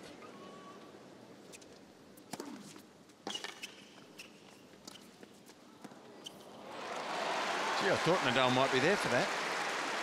Seemed like it. 15. And I thought Federer here might go back down the line and wrong footing, but caresses that across his strings. I just thought Nadal had a chance there.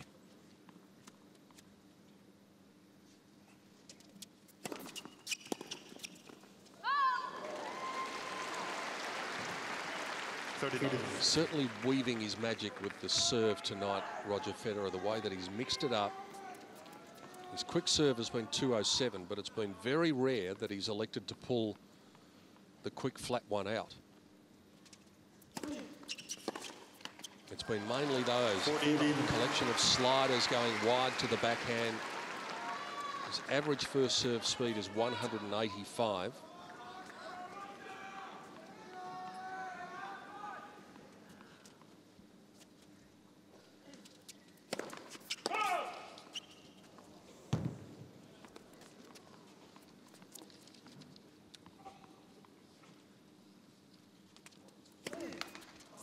Forty fifteen.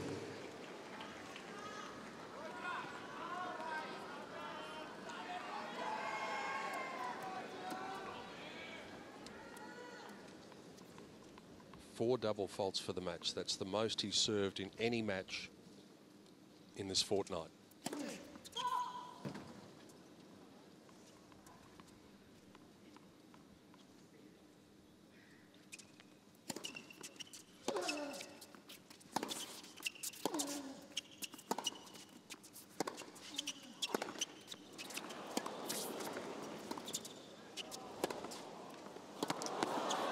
Oh, this? Oh, what a shame it had to finish that way, but it was simply magnificent. What about the collection and the variation of the shots there?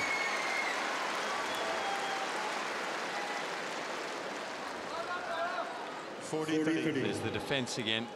Nadal uh, never, and he's there so quickly. First step out, out of the defensive shot, so good and strong. Bit of luck there. That would have gone right into the hitting zone for Federer, but too high, as it turns out. Still has a game point. Needs to be very vigilant here. He led 40 love in this game.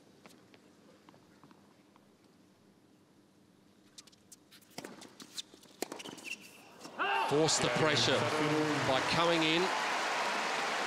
Nadal heard him and most likely saw him. Yeah, I think you're right. He did see him and had to adjust his shot. So the variety is, al is always important. And, and the thinking of uh, Federer here, a second serve, he comes in. He, he knows he can't just play every point the same against Nadal. That's what the Spanish uh, champion wants.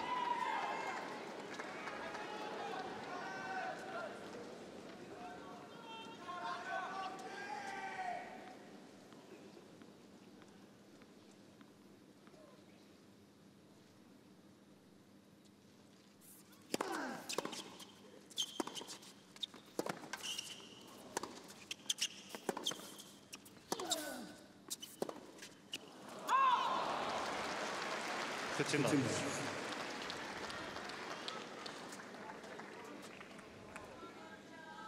Unforced errors in the third set. Federer 12, Nadal 2.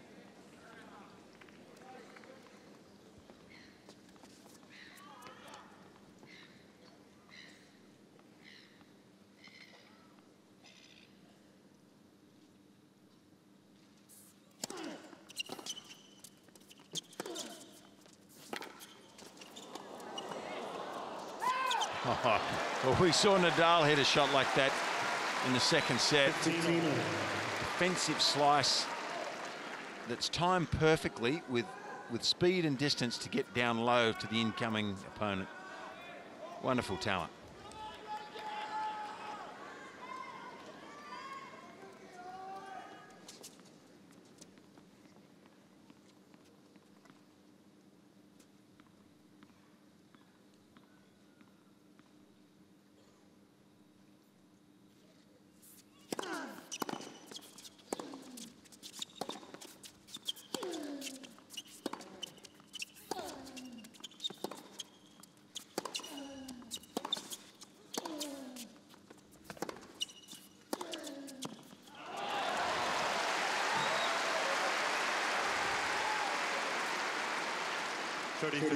Well, in my mind, the only thing that Federer maybe could do different here is just to hit the ball with a bit more depth. And Nadal plays so deep in the court that anything that's three-quarter court bounces up beautifully for him. Very tough to beat time and again from the back of the court is this man.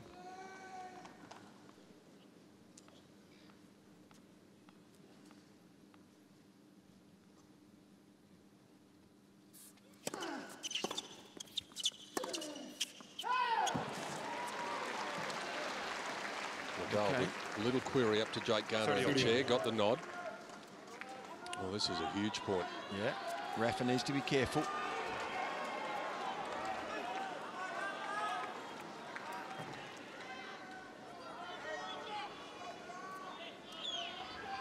Been very good at landing the first serve on these clutch points so far, Rafa.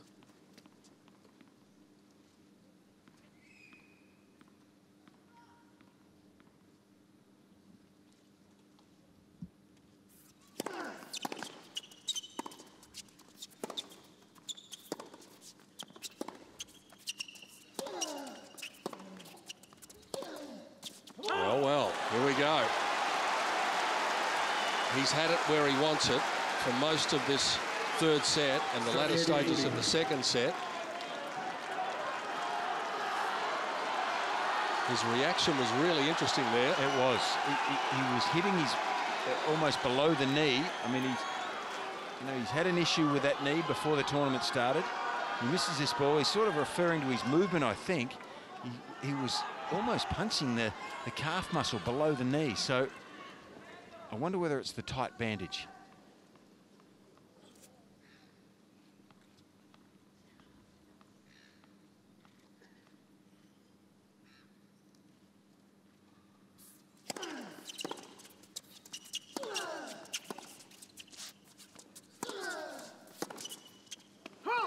Oh, close. Federer's not even going to have a look at it. He's Quite content the ball went wide He's certainly going for his shots. As John Fitzgerald said, he's not going to die wondering.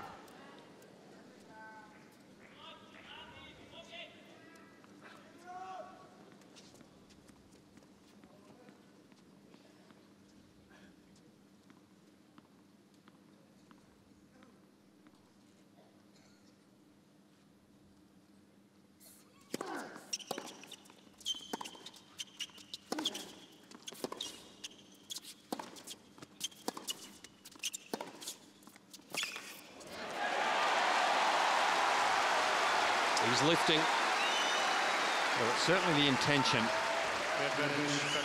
for Federer to get the first good shot in in the rally. If he doesn't, he has to defend more. If he can open the court up with the first shot, and particularly off the forehand side, then he's in a better position. You make Nadal defend, at least, at least you're in the point. Break point number two.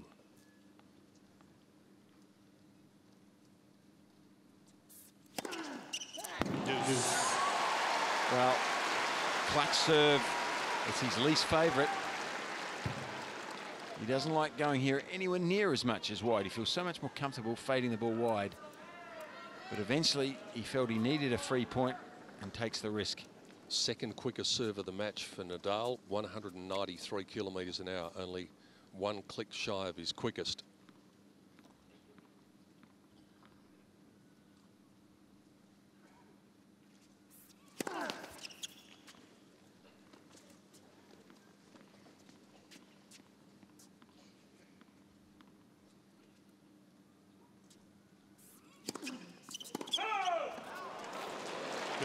First double fault of the match if Hawkeye confirms it.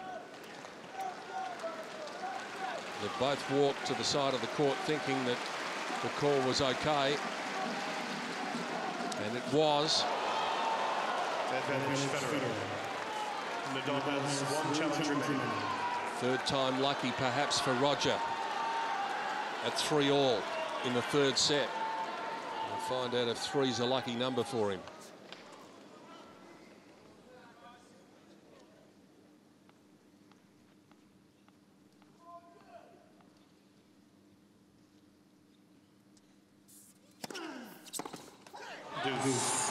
Two big clutch serves, haven't they been?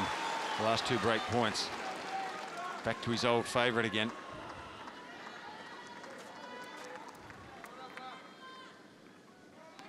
He was there, Roger.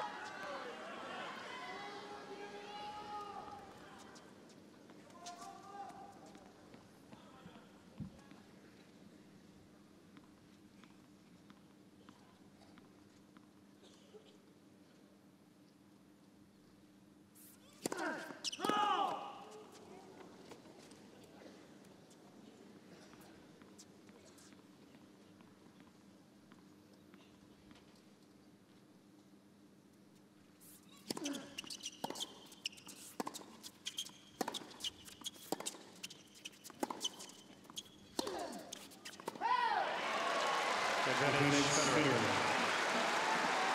Something's going to give if you keep knocking on the door, doesn't it? Yeah. It simply has to.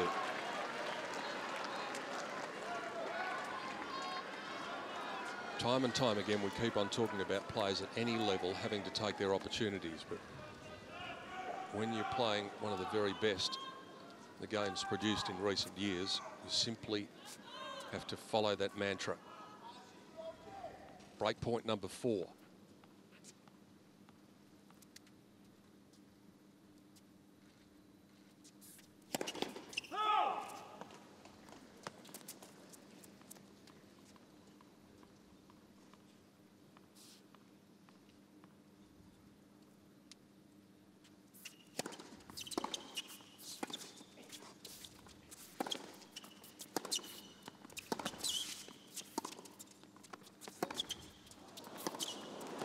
Now Rogers driving the bus again. And more effective at that.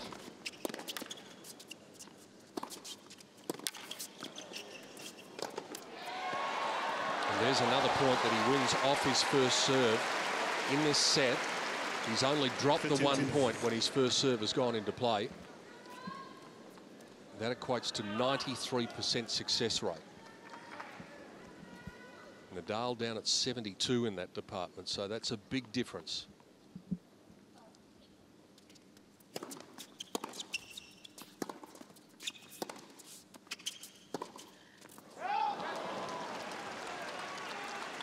Fifteen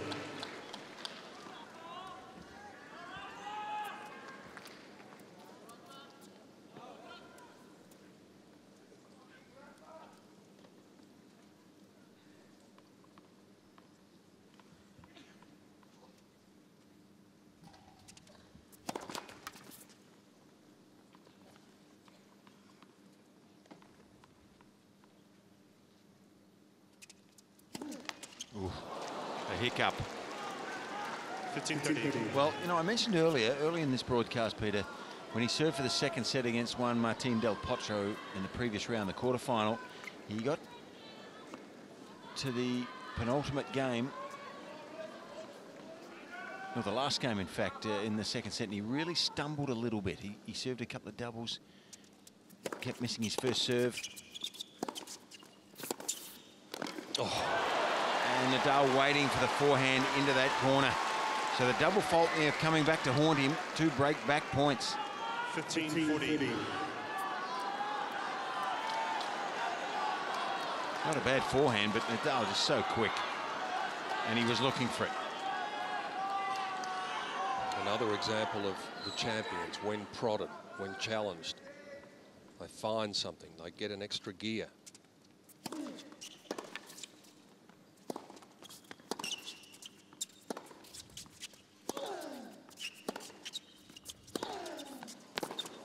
Had the chance, Federer, and he decelerated on that forehand. He's going to be kicking himself. Yeah, a great first serve there. He had a chance to finish the point, and normally that's what he'll do. Well, what that means is Nadal has had the momentum now since midway through that second set, right up until the previous game. Federer grabs it, but only holds it for about three minutes.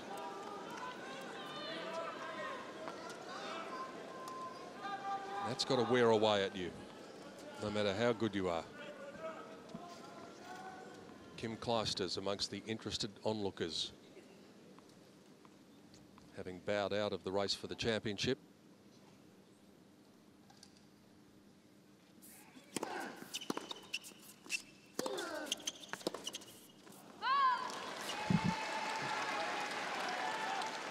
by the look of it. Kim hasn't gone for the presidential uh, seats down there. Is just up amongst the public, enjoying it, as we all are. Hope you are, wherever you're watching around the world. If you're not, you're pretty hard to please.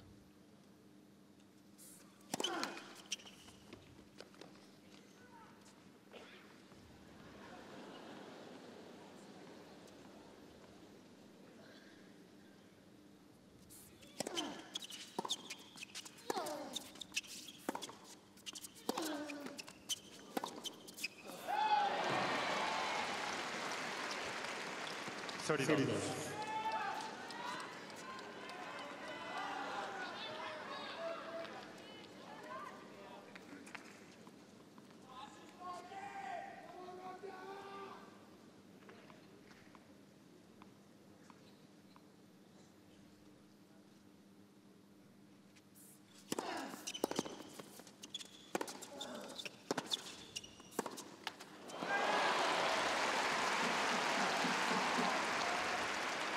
Thirty fifteen.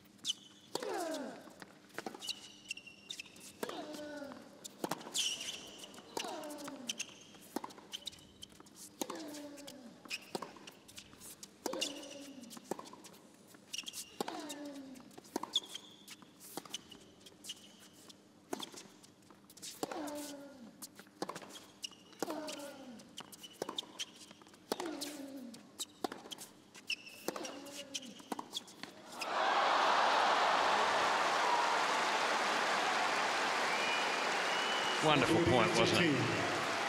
23 shots in the rally, Fitzy.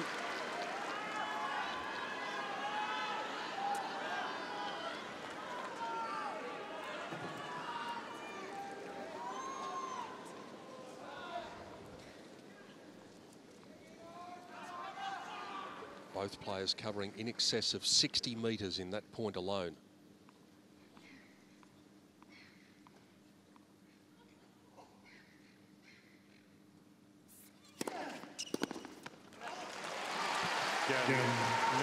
Nadal once more. Because generally, if he serves and stays back, Nadal will hit the ball with height to get the depth. If he comes in, he'll be looking to drop it short at the feet, but too late, He's, he was surprised.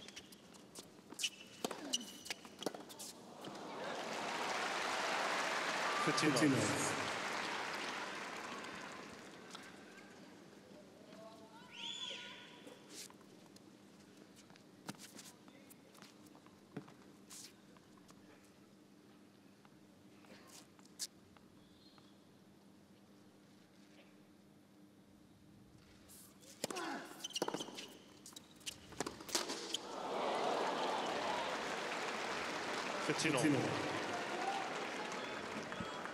Total points won in a match can sometimes be instructional. This time they're probably a bit misleading. Nadal's won 94, Federer's won 86, so eight points the difference. But all of those eight points just about came in the last few games of the second set. Take that out of the equation, and it's pretty much a line ball. Set all, five all, 15 all.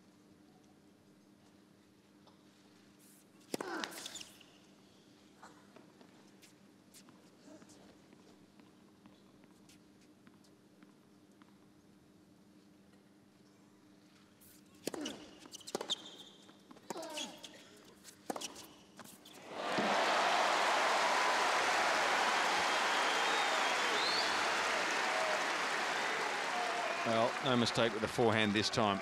15 30. Nadal takes the risk, goes for his least favourite serve. Federer hits a good return. Maybe a fraction of a miss hit on the first return, but there was no miss hit there. Gee, that was off the middle and a screaming forehand winner down the line.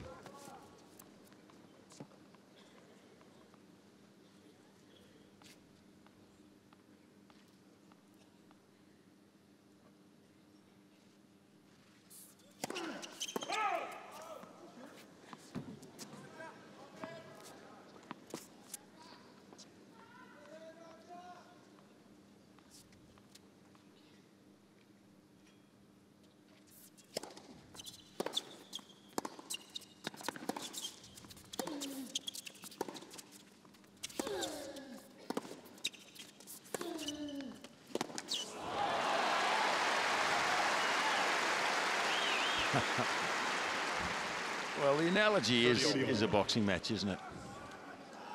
Very much so. Just punching each other as hard as they can go. Well, we talked about at the start of the match, this is like Ali v Frazier on the tennis court in so many ways. One of the great rivalries of sport. They go right up there in Grand Slam rivalries as of tonight too. They equal the number of times that Lendl and McEnroe have played in Grand Slam matches.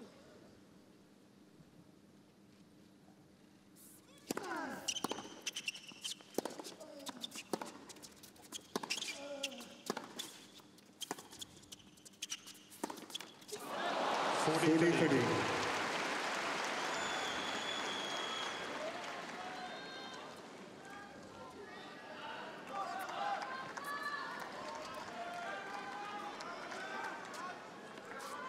He had Nadal there on the defence, but what a defensive player he is. We've talked about it a lot. Just such a big part of his repertoire. The defensive skills of the Spaniard just as good as we've ever seen, I think, in the sport.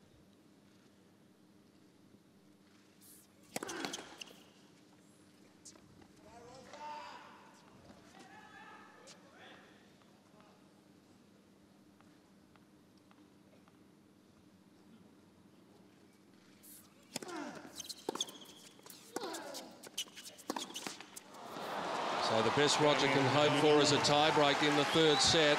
Nadal is the first to six. How important is that going to be?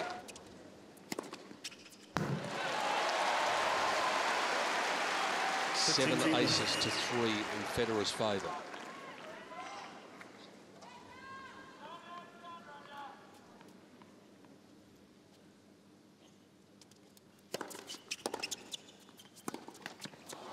Ooh, big miss. That hurts. 15 all. They're the balls that Federer doesn't like to miss. Well, he, you, you expect him to hit this in his sleep inside the court. He has Nadal running, and he gets his favourite shot, the short forehand. That's first serve. Oh, gee, that hurts as well. And Nadal's going to check. He thinks it might have missed. Nadal is challenging the call on the right center service line. Interesting challenge this. He's got one challenge remaining. He'll get an extra one if it goes to a tiebreaker, but not a lot to flirt with here in terms of... Gee, that's interesting. That's one Yeah. millimetre. That's what that is. One mil is the official margin. And he doesn't gain a point from that. He gains the opportunity to hit a second serve.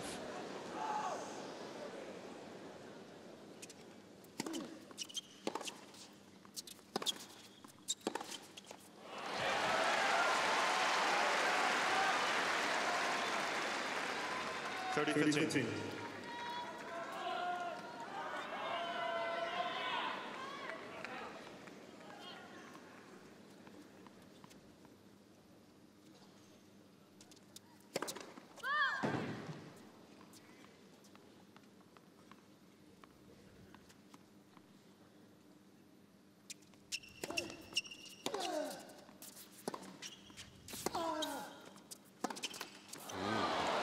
okay. Here, this is vital. Talked about big points in the match. This is going to be point number 189 and none more important than this one after more than two and a half hours.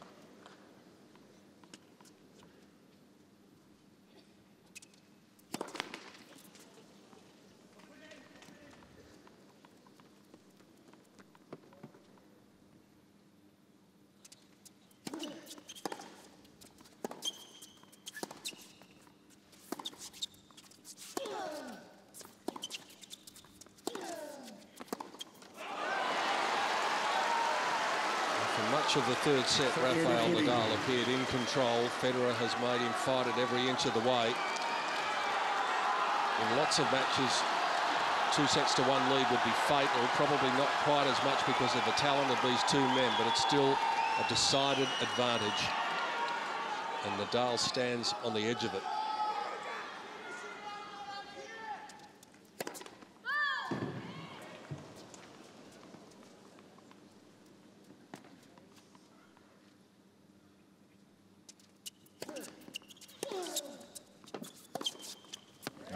second serve. And executes the forehand like we expect him to. Little pump of the fist from Roger after that one too. He knows the importance of that. Well, they, they know the importance of it, but they play each point on its merits. If he gets the short ball, he goes for it. If it's a deep return, he'll, he'll give it respect, try to play the percentage, get back in the point. But the short ball on the forehand, that's the one to go for for him. Oh. Get that person in the Australian cricket team. How good was that? Well, this is a huge part of the match, isn't it? Is, is that an understatement? Or I know it's not. It's uh, it is like Everest. This well, part of the match. Yeah, it could have been two sets to one Nadal. Yeah. And now the breaker looming. Federer can hold here.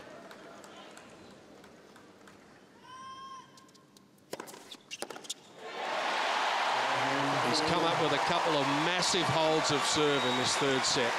In the second game, and then 10 games later. he was down break points on both occasions. So does Federer take just a little edge into the tiebreak because of his superior record? You wouldn't think so. No, it's a toss of the coin, surely. Yep.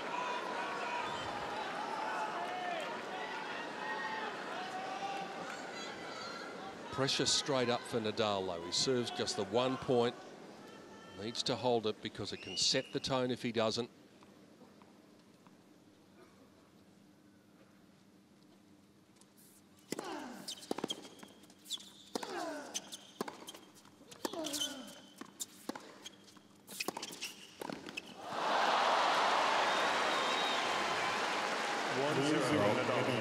Before he hit that backhand, Federer knew he was coming in.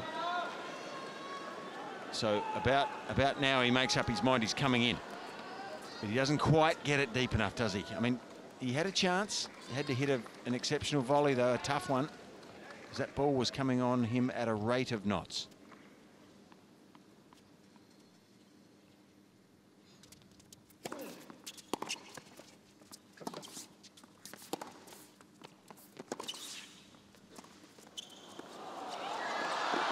Awesome. Well, structure to beauty. There's another dot inside the service line on that graph for Nadal.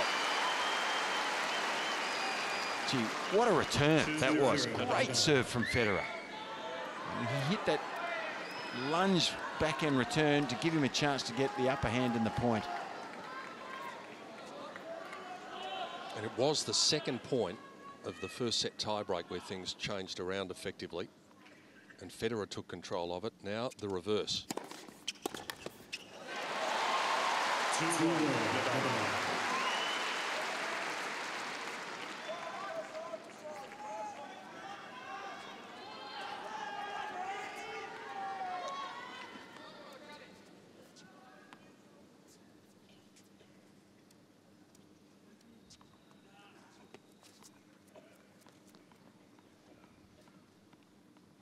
the second point on in the first set tiebreak, every point went with serve. If the same happens here, Nadal will be two sets to one up.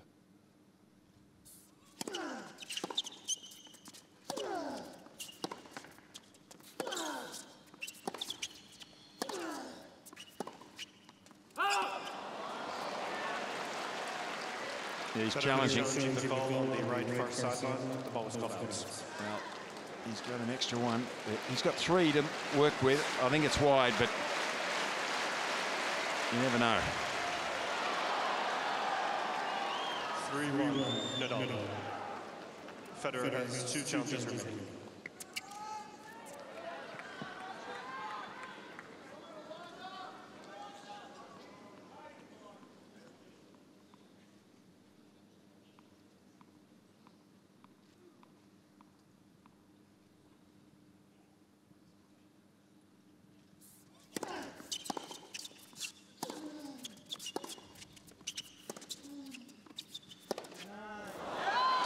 Well, he's got a break here, has Nadal, and gee, 4-1 in this breaker, that's substantial. He deserves it. The, the constant barrage and pressure that he puts on uh, his opponents, including the man with the most Grand Slam singles titles in history. Well, the pressure he exerts is quite uh, unrelenting.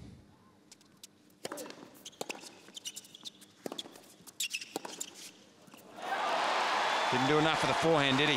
Nadal in control. It's just about in the book now, you would think.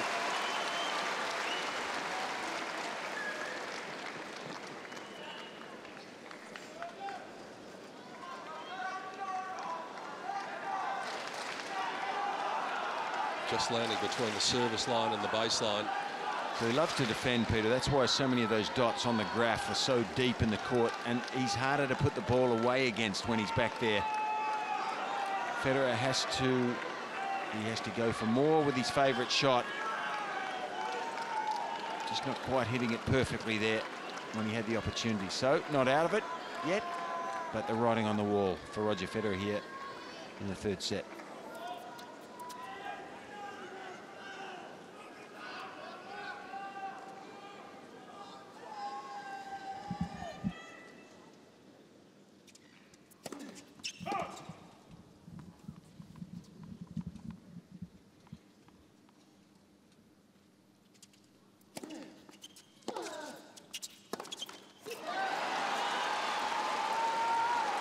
Six one Nadal. He hasn't produced his best forehands, has he, in this tiebreaker? And that's been the difference, I think. Not often that you see Roger Federer get so far behind in a tiebreak. In his heart of hearts, he's already started to concentrate on the fourth set now.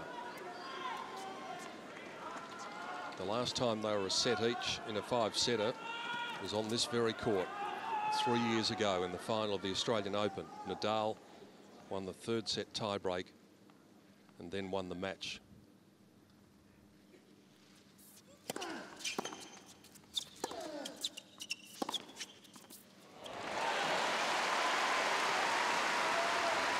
They're pulling the trigger early there, and you'd expect that when you're down.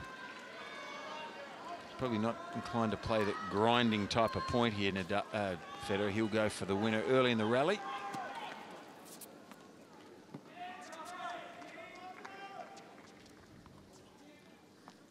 Might be a little different if it was 5 all in the breaker instead of 5 1. Or 6 1, excuse me, it was.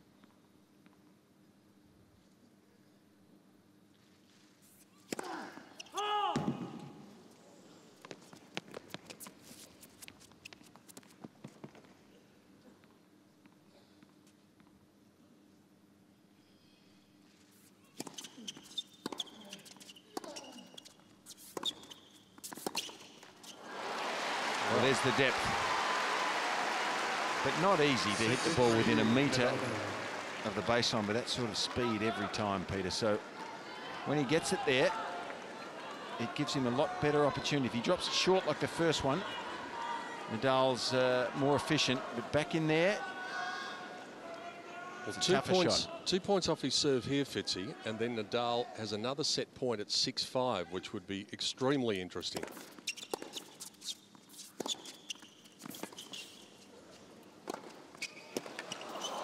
And we might get there yet.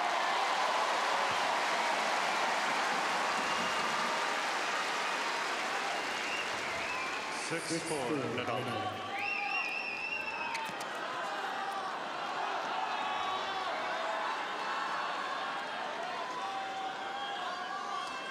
There's the difference when uh, Roger Federer gets the forehand near the line.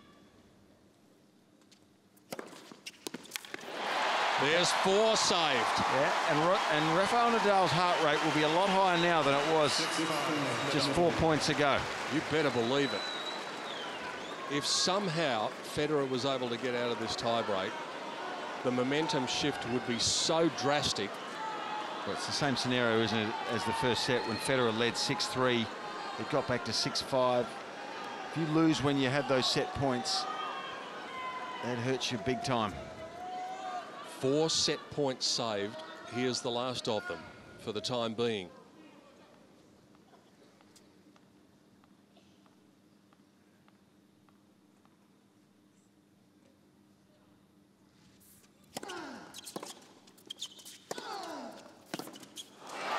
Well, that whooshing sound that you hear is Rafa and Uncle Tony and all of his support staff breathing a big sigh of relief. Daunting thought. 15 Still serving it over 200 Ks though, Rog. He's got the new balls too, so that's going to help.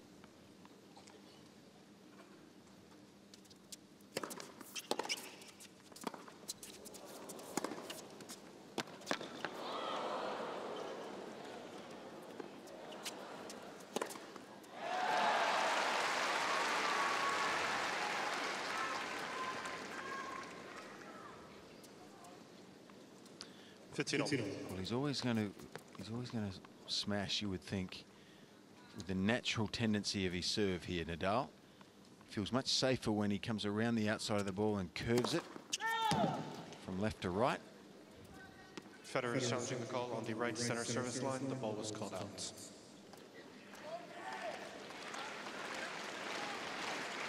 Well, Roger's confident. He thinks it's in. 30 15. Gee, that was a that was a big miss from the lines person. It was.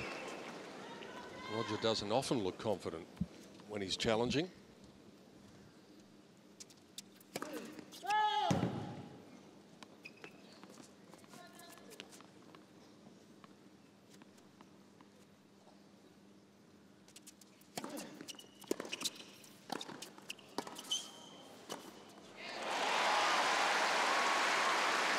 In control at the net.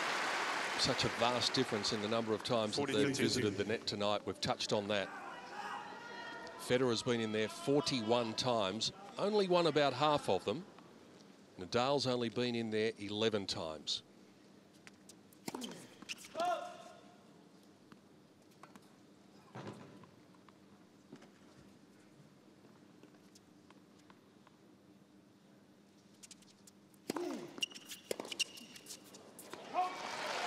And Federer Pretty opening service game would come as a welcome First relief to Roger sets. Federer.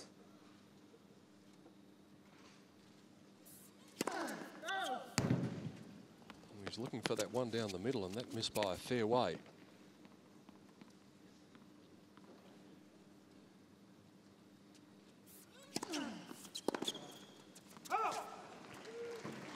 You know what's ironic here? Novak Djokovic is probably sitting in the hotel back in the city centre here in Melbourne watching this match. His record against Nadal has been quite dominant in previous times. He's probably thinking, okay, well, if I can look past Andy Murray for a second, and that's no guarantee, but if I can look past him for a second, I'd probably rather play Nadal here than Federer. He's got a 16-13 record against Nadal. In fact, I think it's Nadal who's 16 13, but Djokovic in recent times just dominated him, beat mm-hmm. him in six finals mm -hmm. last year.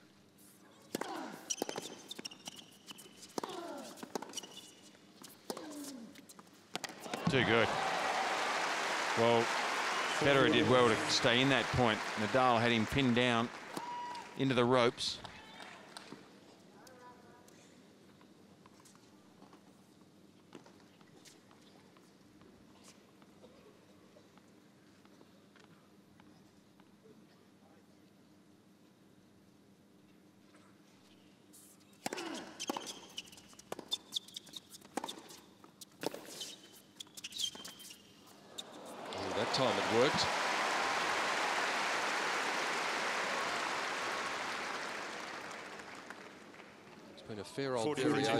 Effectiveness of the drop shot for Federer tonight.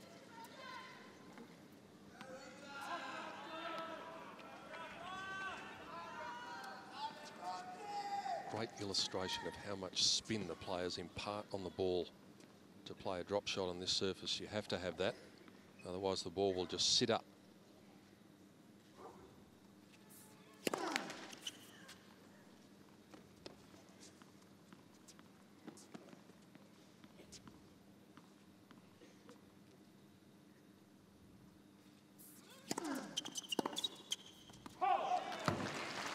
Again, Nadal. Both players then with pretty convincing holds of serve to begin the fourth set. Our colleague, the great Fred Stolle, just popped his head into the back of the box and speculated that we might be here for a very late night. I think I think he was hoping we would be. It's possible, but I don't think we'll be here later than the night that I shared this commentary box with Fred a few years ago.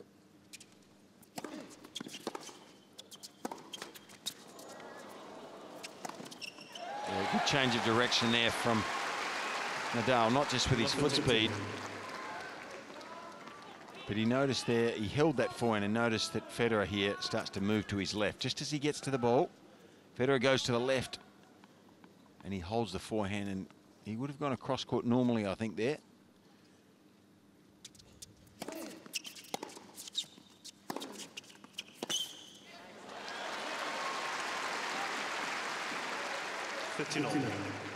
That occasion I was talking about was when Lleyton Hewitt played uh, Marcos Baghdatis. They didn't get on court until round about midnight. And the match went until 20 to 5 or thereabouts in the morning. And the place was just about full when it finished. It was amazing.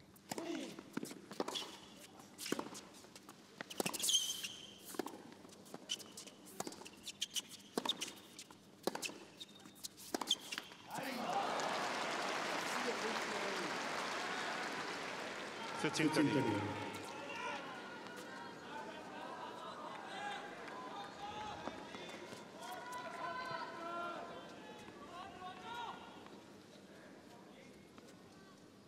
don't see that half century brought up too often. Oh, lovely. Yeah, I love it when he throws the serve and volley in. But you know, if you do it too often, well, then you lose the surprise. He's a great uh, executor of volleying, though. Beautiful. Wish we'd see more of it.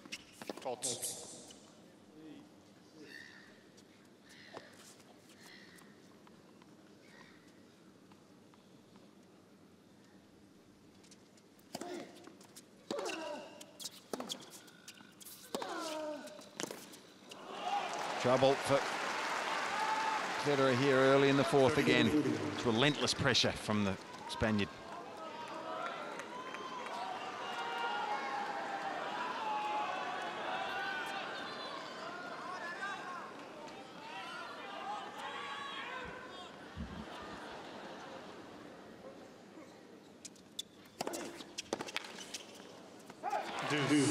Big serve on the big point once more.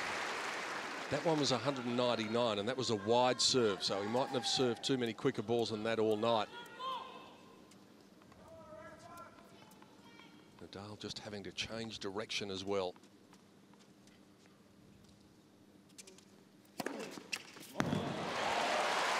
Two oh seven. That's equal to his quickest of the night. And that's a good point, Peter. You serve wide out to that second quarter and it won't register on the gun as fast. That's his fastest registering serve there. The one, the right hander's down the middle to the first court.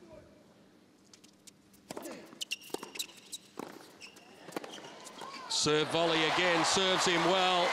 Once more, Federer digs himself out of a bit of a predicament.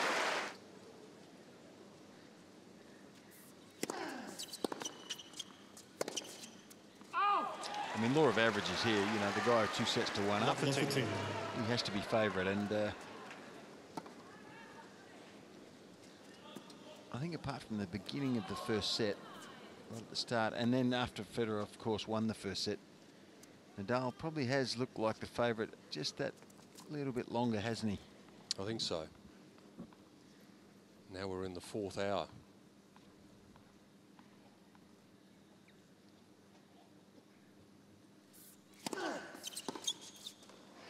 Fifteen You know what the good news is, though, Peter? What's that, Fitzy? If Federer does win this, this this match, if, if he wins this fourth set, this match will go down as another one of their classics. Yep. And we play to advantage, remember? So we won't have a tie break in the fifth set if we get there. They're the types of matches you remember your whole life. You don't forget these. This goes to five, hang on to your horses.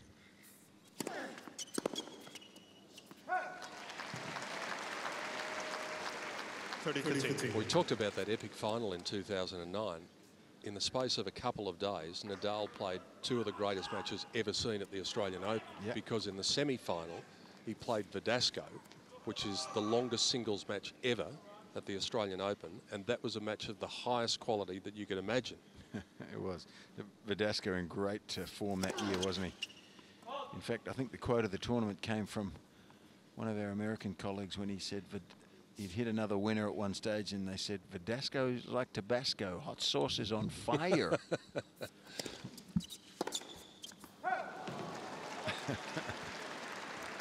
Forty fifteen. I And ne- and the next day, in pain, he came out and beat Roger, didn't he? Yeah. Nadal.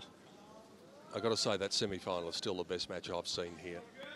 It was just one of those matches where the, the quality of the match never dropped off at any stage. And over five and a bit hours, that's something.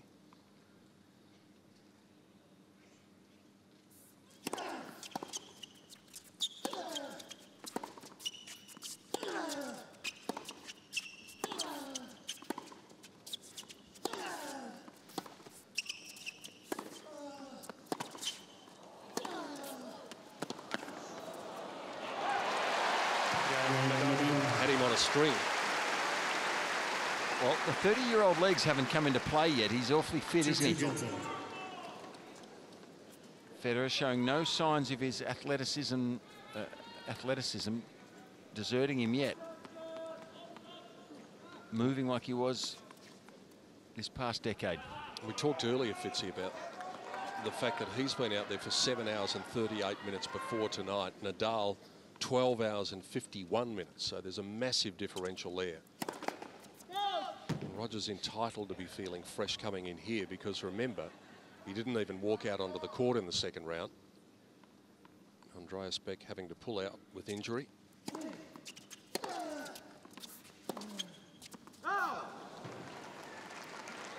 Lofton 2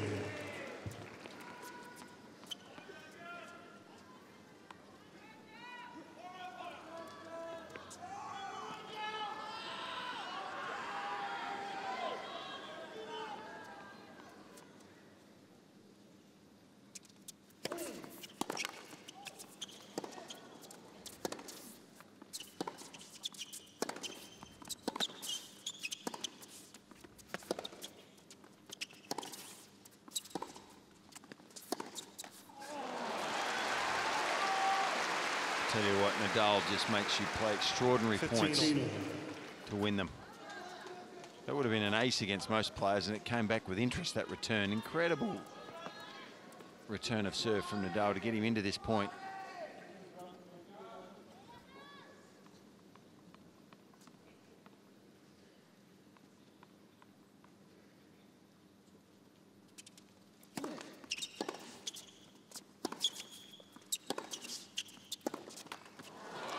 A loose one.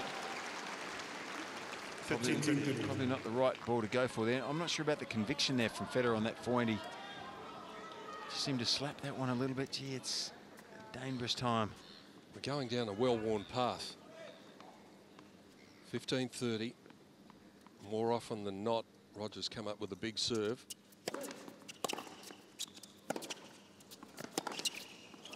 Trouble. He just can't penetrate, can he?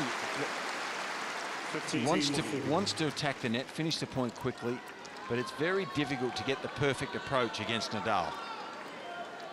That had great depth, but still not good enough.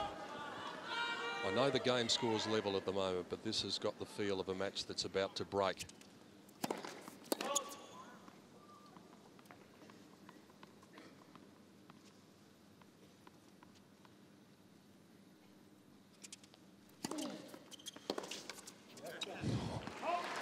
What about that? 153. Boy, did that have some work on it. Well, they're the outer limits that Federer needs to play at at the moment.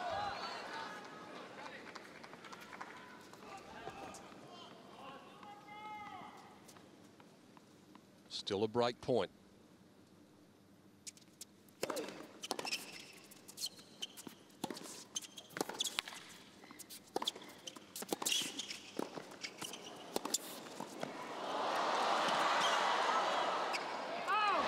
Absolutely brilliant. Boetsch there, sitting behind Paul Annacone, marketing manager for Rolex. And a great player. Reached number 12 in the world, Arnaud Boetsch. He was a terrific player, the Frenchman.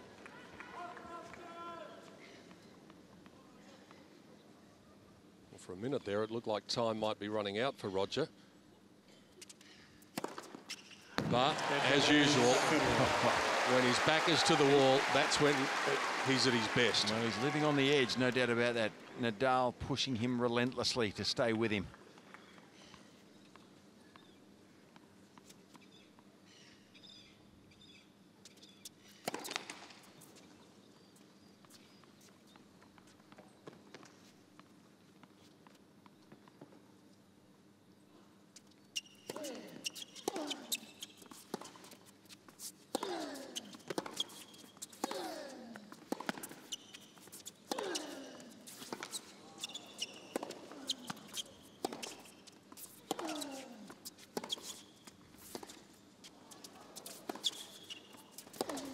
Unbelievable tennis. Gee, this is special.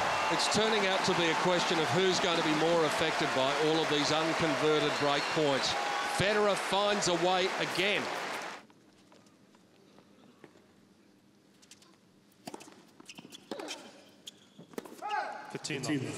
In these days of the power game, that is a very low number for a quick serve for a top player when you consider that Serena Williams has got one down at 191 in these championships.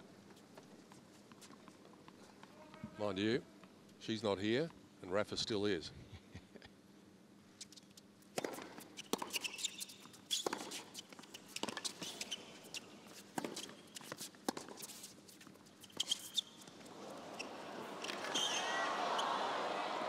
Right choice there.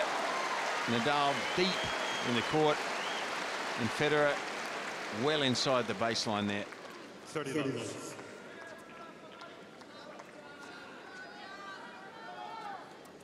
And you'd rather Rafa running forward to hit some form of a touch shot, whether it be a lob or a, or a you know, little chip across court. You'd rather him in that position than getting a full swing at one of his ground strokes, especially the forehand.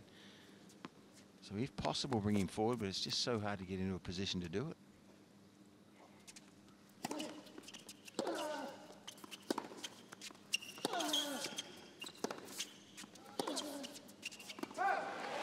Playing a good game here, Roger, isn't he? 49.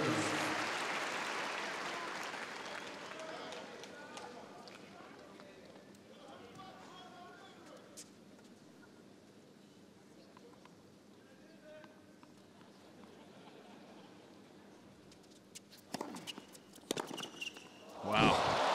Take that. And that was a first serve at 171. Not huge, but so accurate down the middle. You'd think at least he'd get a volley, wouldn't you? 137 on the way back.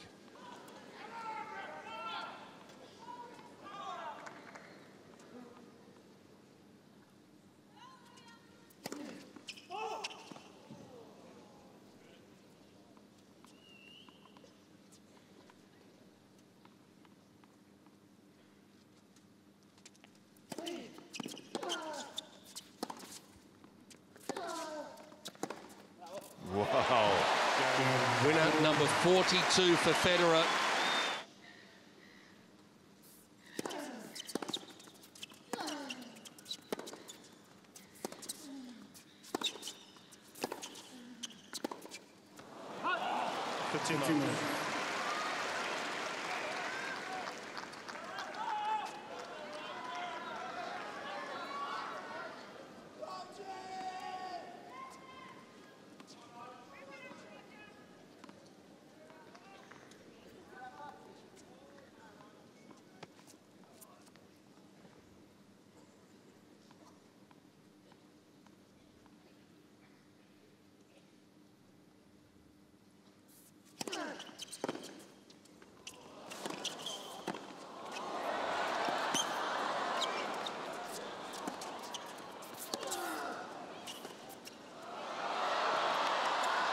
Is outrageous. He's just missed it. He's going to challenge it. How did he do that? How did he keep on getting that ball back into play? Amazing defensive skills, hasn't he? And he's missed it by five millimetres.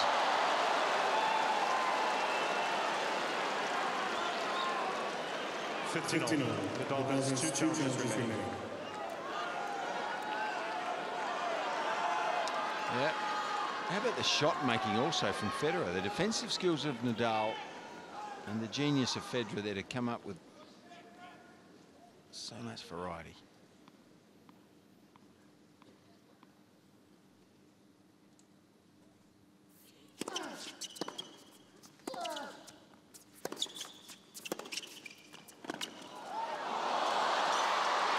You're kidding. They're Well- taking it to another level. Yeah, are we going there? You beat me to it, Peter. Are we going to another level? It looks like it. Fifteen thirty.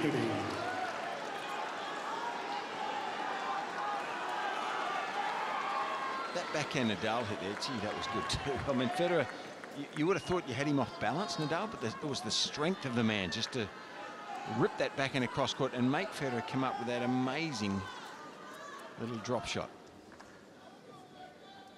A little window of opportunity then for the four-time champion.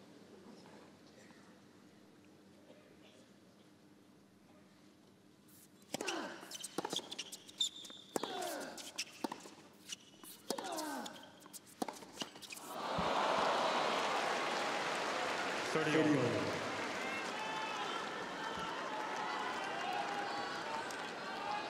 was in the point, Federer, there, wasn't he? Get the upper hand in the point, you need to make sure of it against Nadal. It doesn't happen all the time.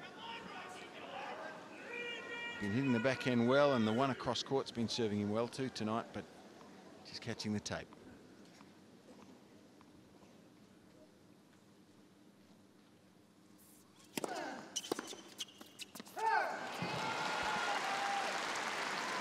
Forty thirty.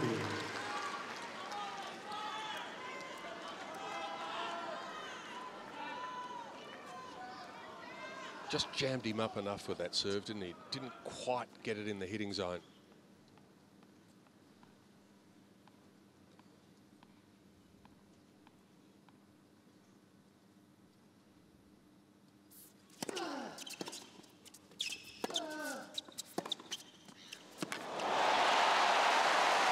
Well, that's what you have to do to, to win a point. You have to hit an amazing slice off the serve across court near the line, and then pound a backhand back up the opposite line within about, I don't know, a third of a metre, less, and hit it like a rocket. That gets a winner. So that's all you have to do to hit a winner. Yeah. It's extraordinary. And you have to do it for about 150 points in a match.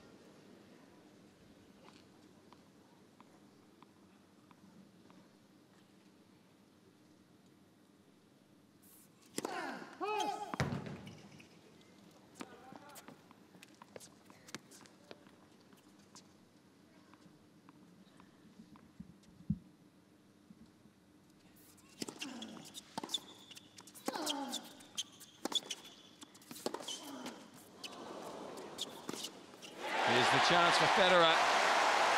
He's been patient, Peter. He's needed to be because most of the chances have been against him.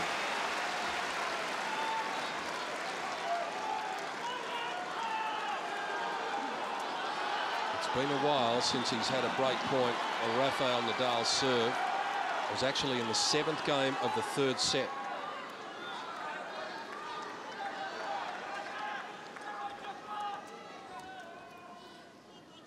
Now would be almost the best time possible to get that break.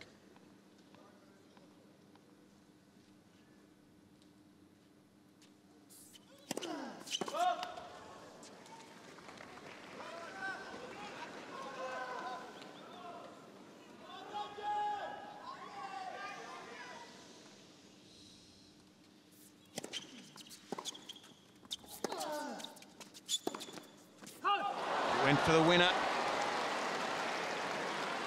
Deuce. And I, I think the right shot. I mean, and he wants to get the forehand. He played the backhand beautifully to get the forehand on the next shot. Maybe he needed to be a fraction further up in the court. But, gee, that missed by a whisker. And Nadal relieved. And so's his support box.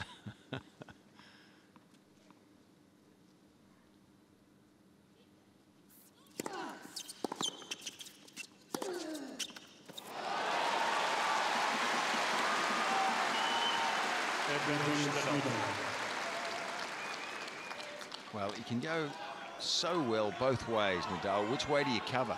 You get the ball back pretty deep, but it is to his weapon. And where do you cover? Do you go for cover the hook, or do you cover the off forehand? It's amazing technique, isn't it?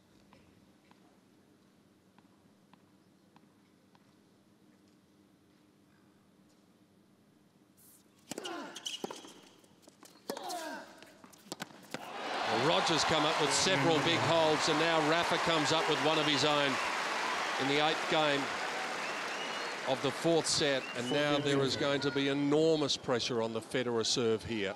This might be a time for Rafa just to have a bit of a free swing at a few. If he can get it to 5-4, then the final is within sight. And that's why the world's media are here to capture the moment. Is the moment about to arrive.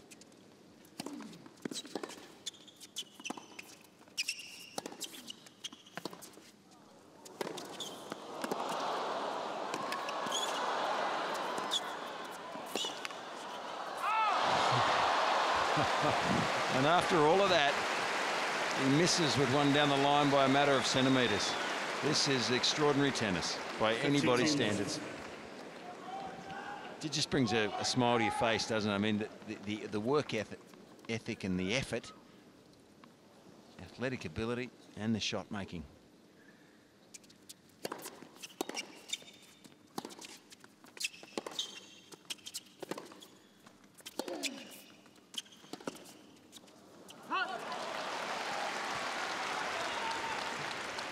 Fatino.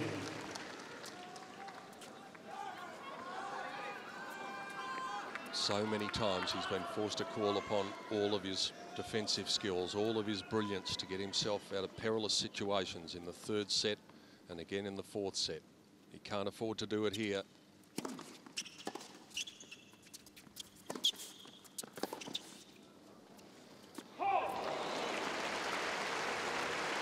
30, 30,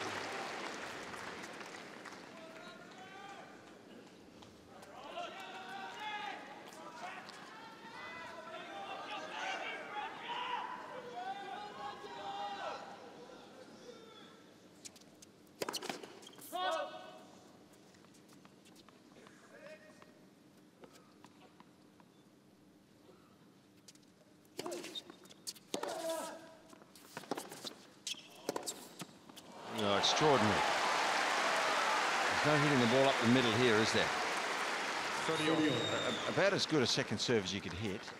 Amazing return. There it is. Federer goes out wide of the tram line, rips an amazing backhand across court, but leaves the court open enough for that winner. Awesome hitting.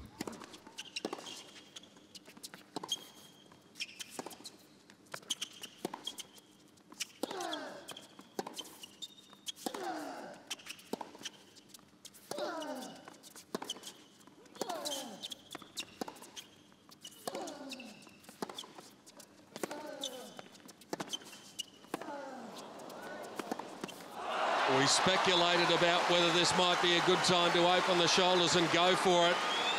It might very well turn out to be 30 40. a break point to get within one game of reaching the final in Melbourne.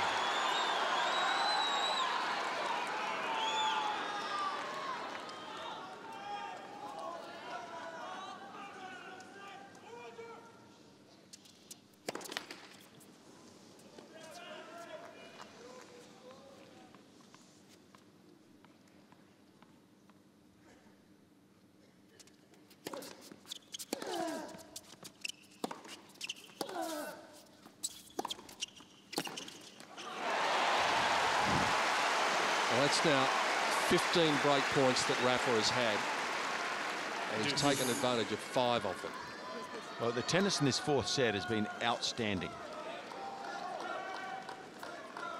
Both of them playing above what they have in the previous three sets, I, I think, in my opinion.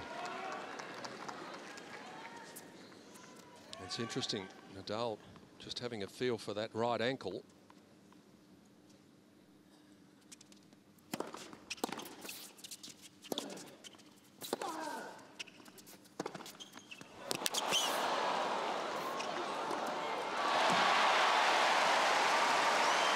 Have to, they're hitting the ball so close to the line now, seeing it like a football.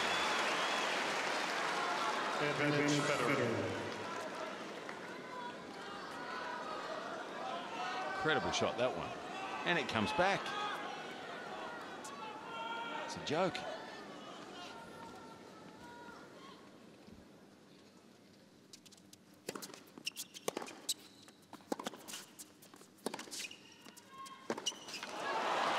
Well, we went for a change up there, Federer, on the game point. Slower serve.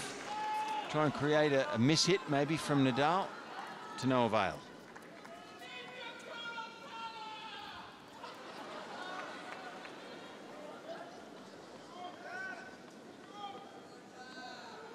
Please. It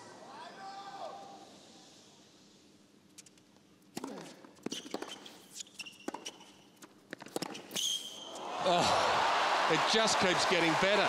He was five metres behind the baseline when he hit that. Just extraordinary. Advantage Uncle Federer. Tony's up. Yeah, it got him out of his seat because that forehand was awfully good Thank you. from Federer and uh, even better from Nadal. Break point again.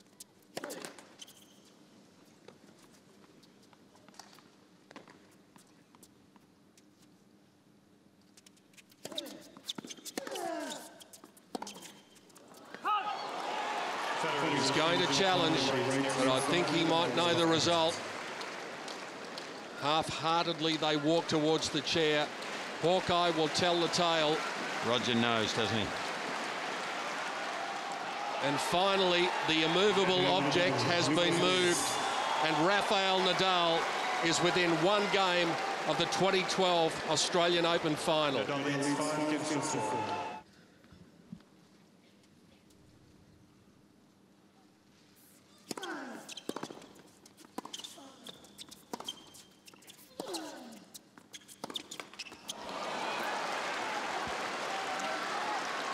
Fifteen love.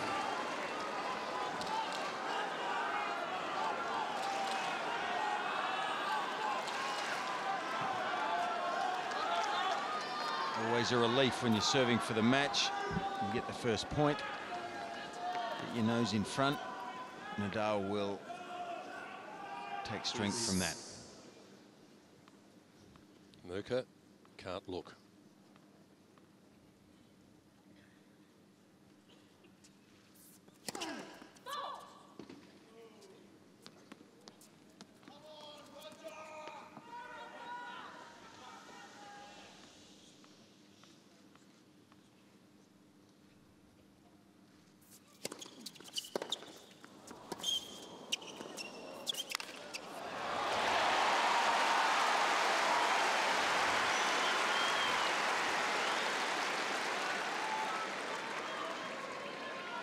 15 all. Well, I like the versatility there of uh, Federer getting around and just threatening on the forehand. I mean, I think it's a good move against Nadal, really. You know he's going to roll that second serve in out there 99% of the time.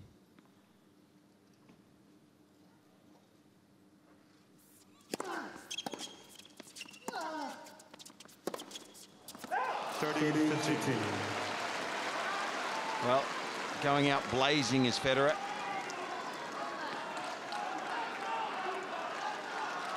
Gee, Tony's fired up. It's been up and down like the elevators at Rod Laver Arena tonight, and with good reason. But for most of the match, his nephew has looked the man most likely. Thank you.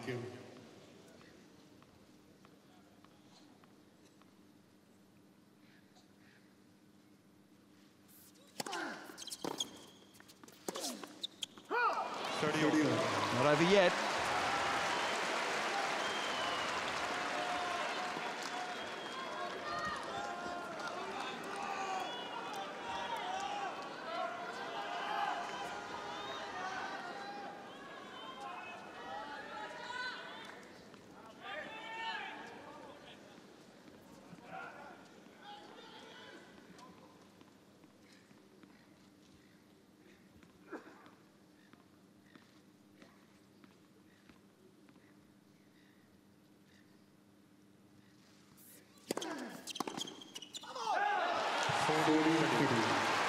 Federer, you know, he's down 40-30, but he had two forehands that he could have made. And half a metre shorter on that backhand. It's a fine line. Great effort from Nadal to get into this position. Gee, he's worked hard. And you have to give him credit if he serves it out here. Their 27th meeting has yet a, again been a meeting to savour.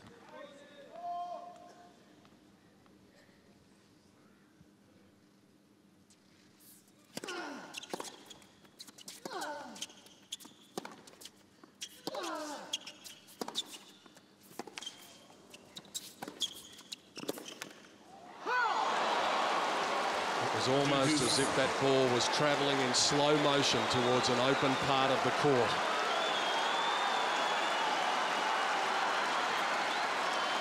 Is it to win a point? It's nearly impossible. Federer hit four or five outstanding balls there and nearly lost it.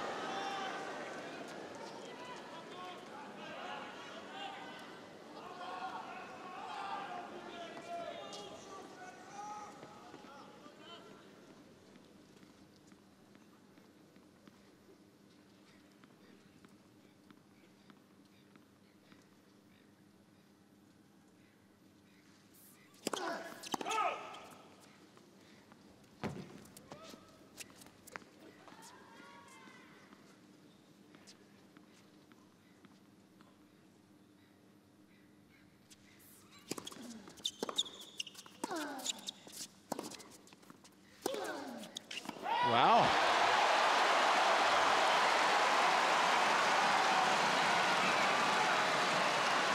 We often talk about the pressure of serving for the match and how much different it is to any other game at any stage of the match. Even Rafa starting to feel it.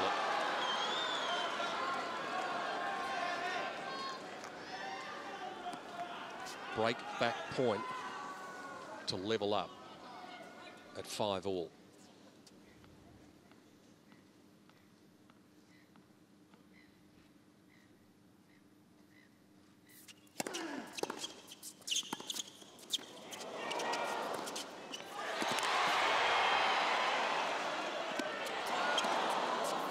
It's oh wide. my goodness, can you believe that?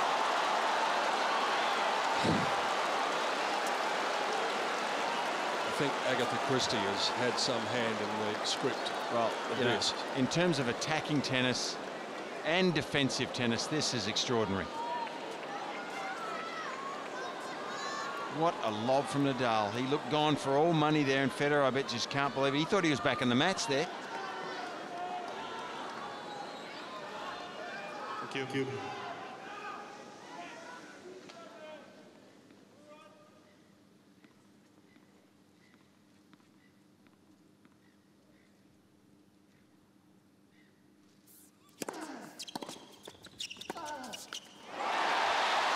He's getting some depth on those returns now. He knows he has to. It's do or die.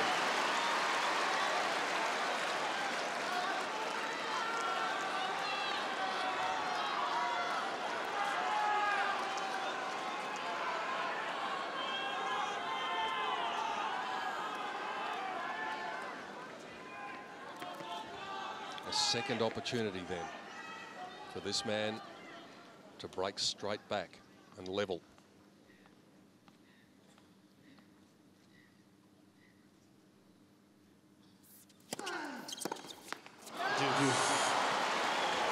He had a crack, didn't he? He put the serve in the slot there for the Federer backhand.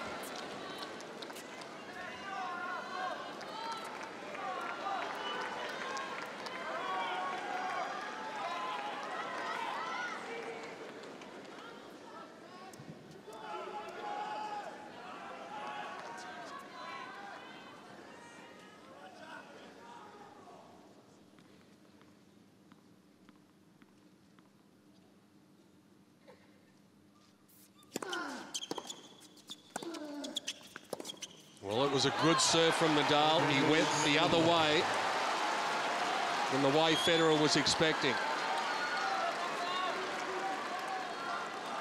And it brings up a second match point.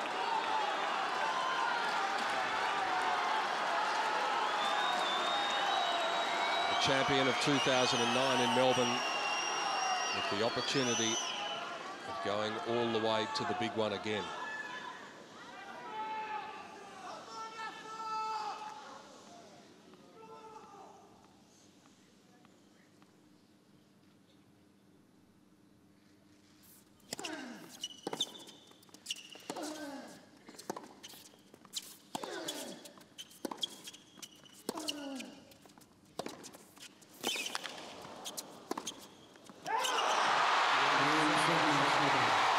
one of sport's great modern day rivalries produces yet another epic clash. Nadal emerges on top once more and is on the way to the final in Melbourne in 2012.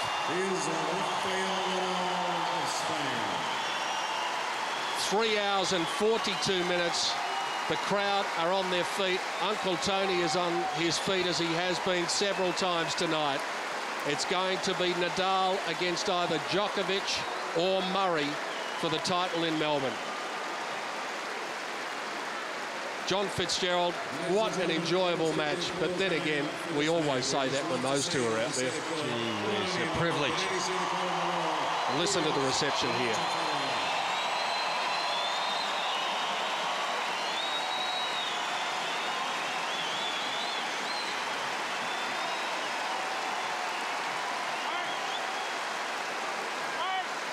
The four-time champion will not join Roy Emerson as the only man to have won five Australian Opens, but he'll be back. Rafael Nadal wins in 3 hours and 42 minutes. 6-7, 6-2, 7-6, 6-4 in a match that will be talked about for a long time and just continues one of the great rivalries in modern day sport. Yeah, look, an absolute privilege to see it. You know, we're here live. You you expect so much of these guys, but tonight, you know, there were stages when it went to another level. You know, at the end there, even in the last game, Peter, you know, you the, the standard was maintained, and, and the exceptional shot making, and then the retrieval skills. That's how good you've got to be to be the best in this sport on the planet. And uh, these two have been there for you know, five, six years now together. A bit longer probably for Roger. But uh, really something to watch and uh, something you can you can savour.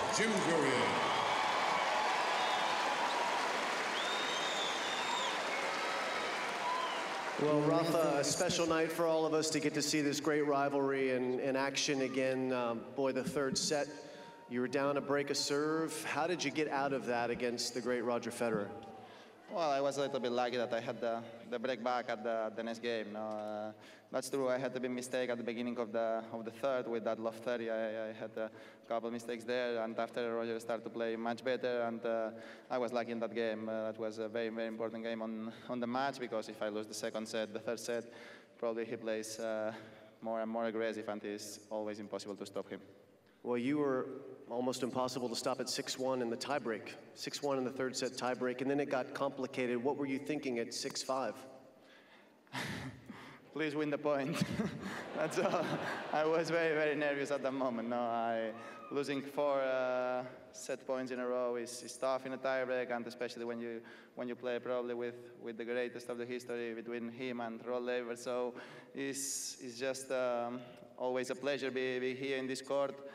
Thank you very much, all the crowd, to supporting here, to support the to support the event. Uh, for me, it's a, it's a really honor play against against Roger. It's uh, another, I think, fantastic match. So very very happy. I, I wish him all the best for the rest of the season because he deserves. Well, talk a little bit, if you would, about what the rivalry with, with Roger has meant to your career. Um, it's been incredible for us to witness. What's it been like to be a participant with him?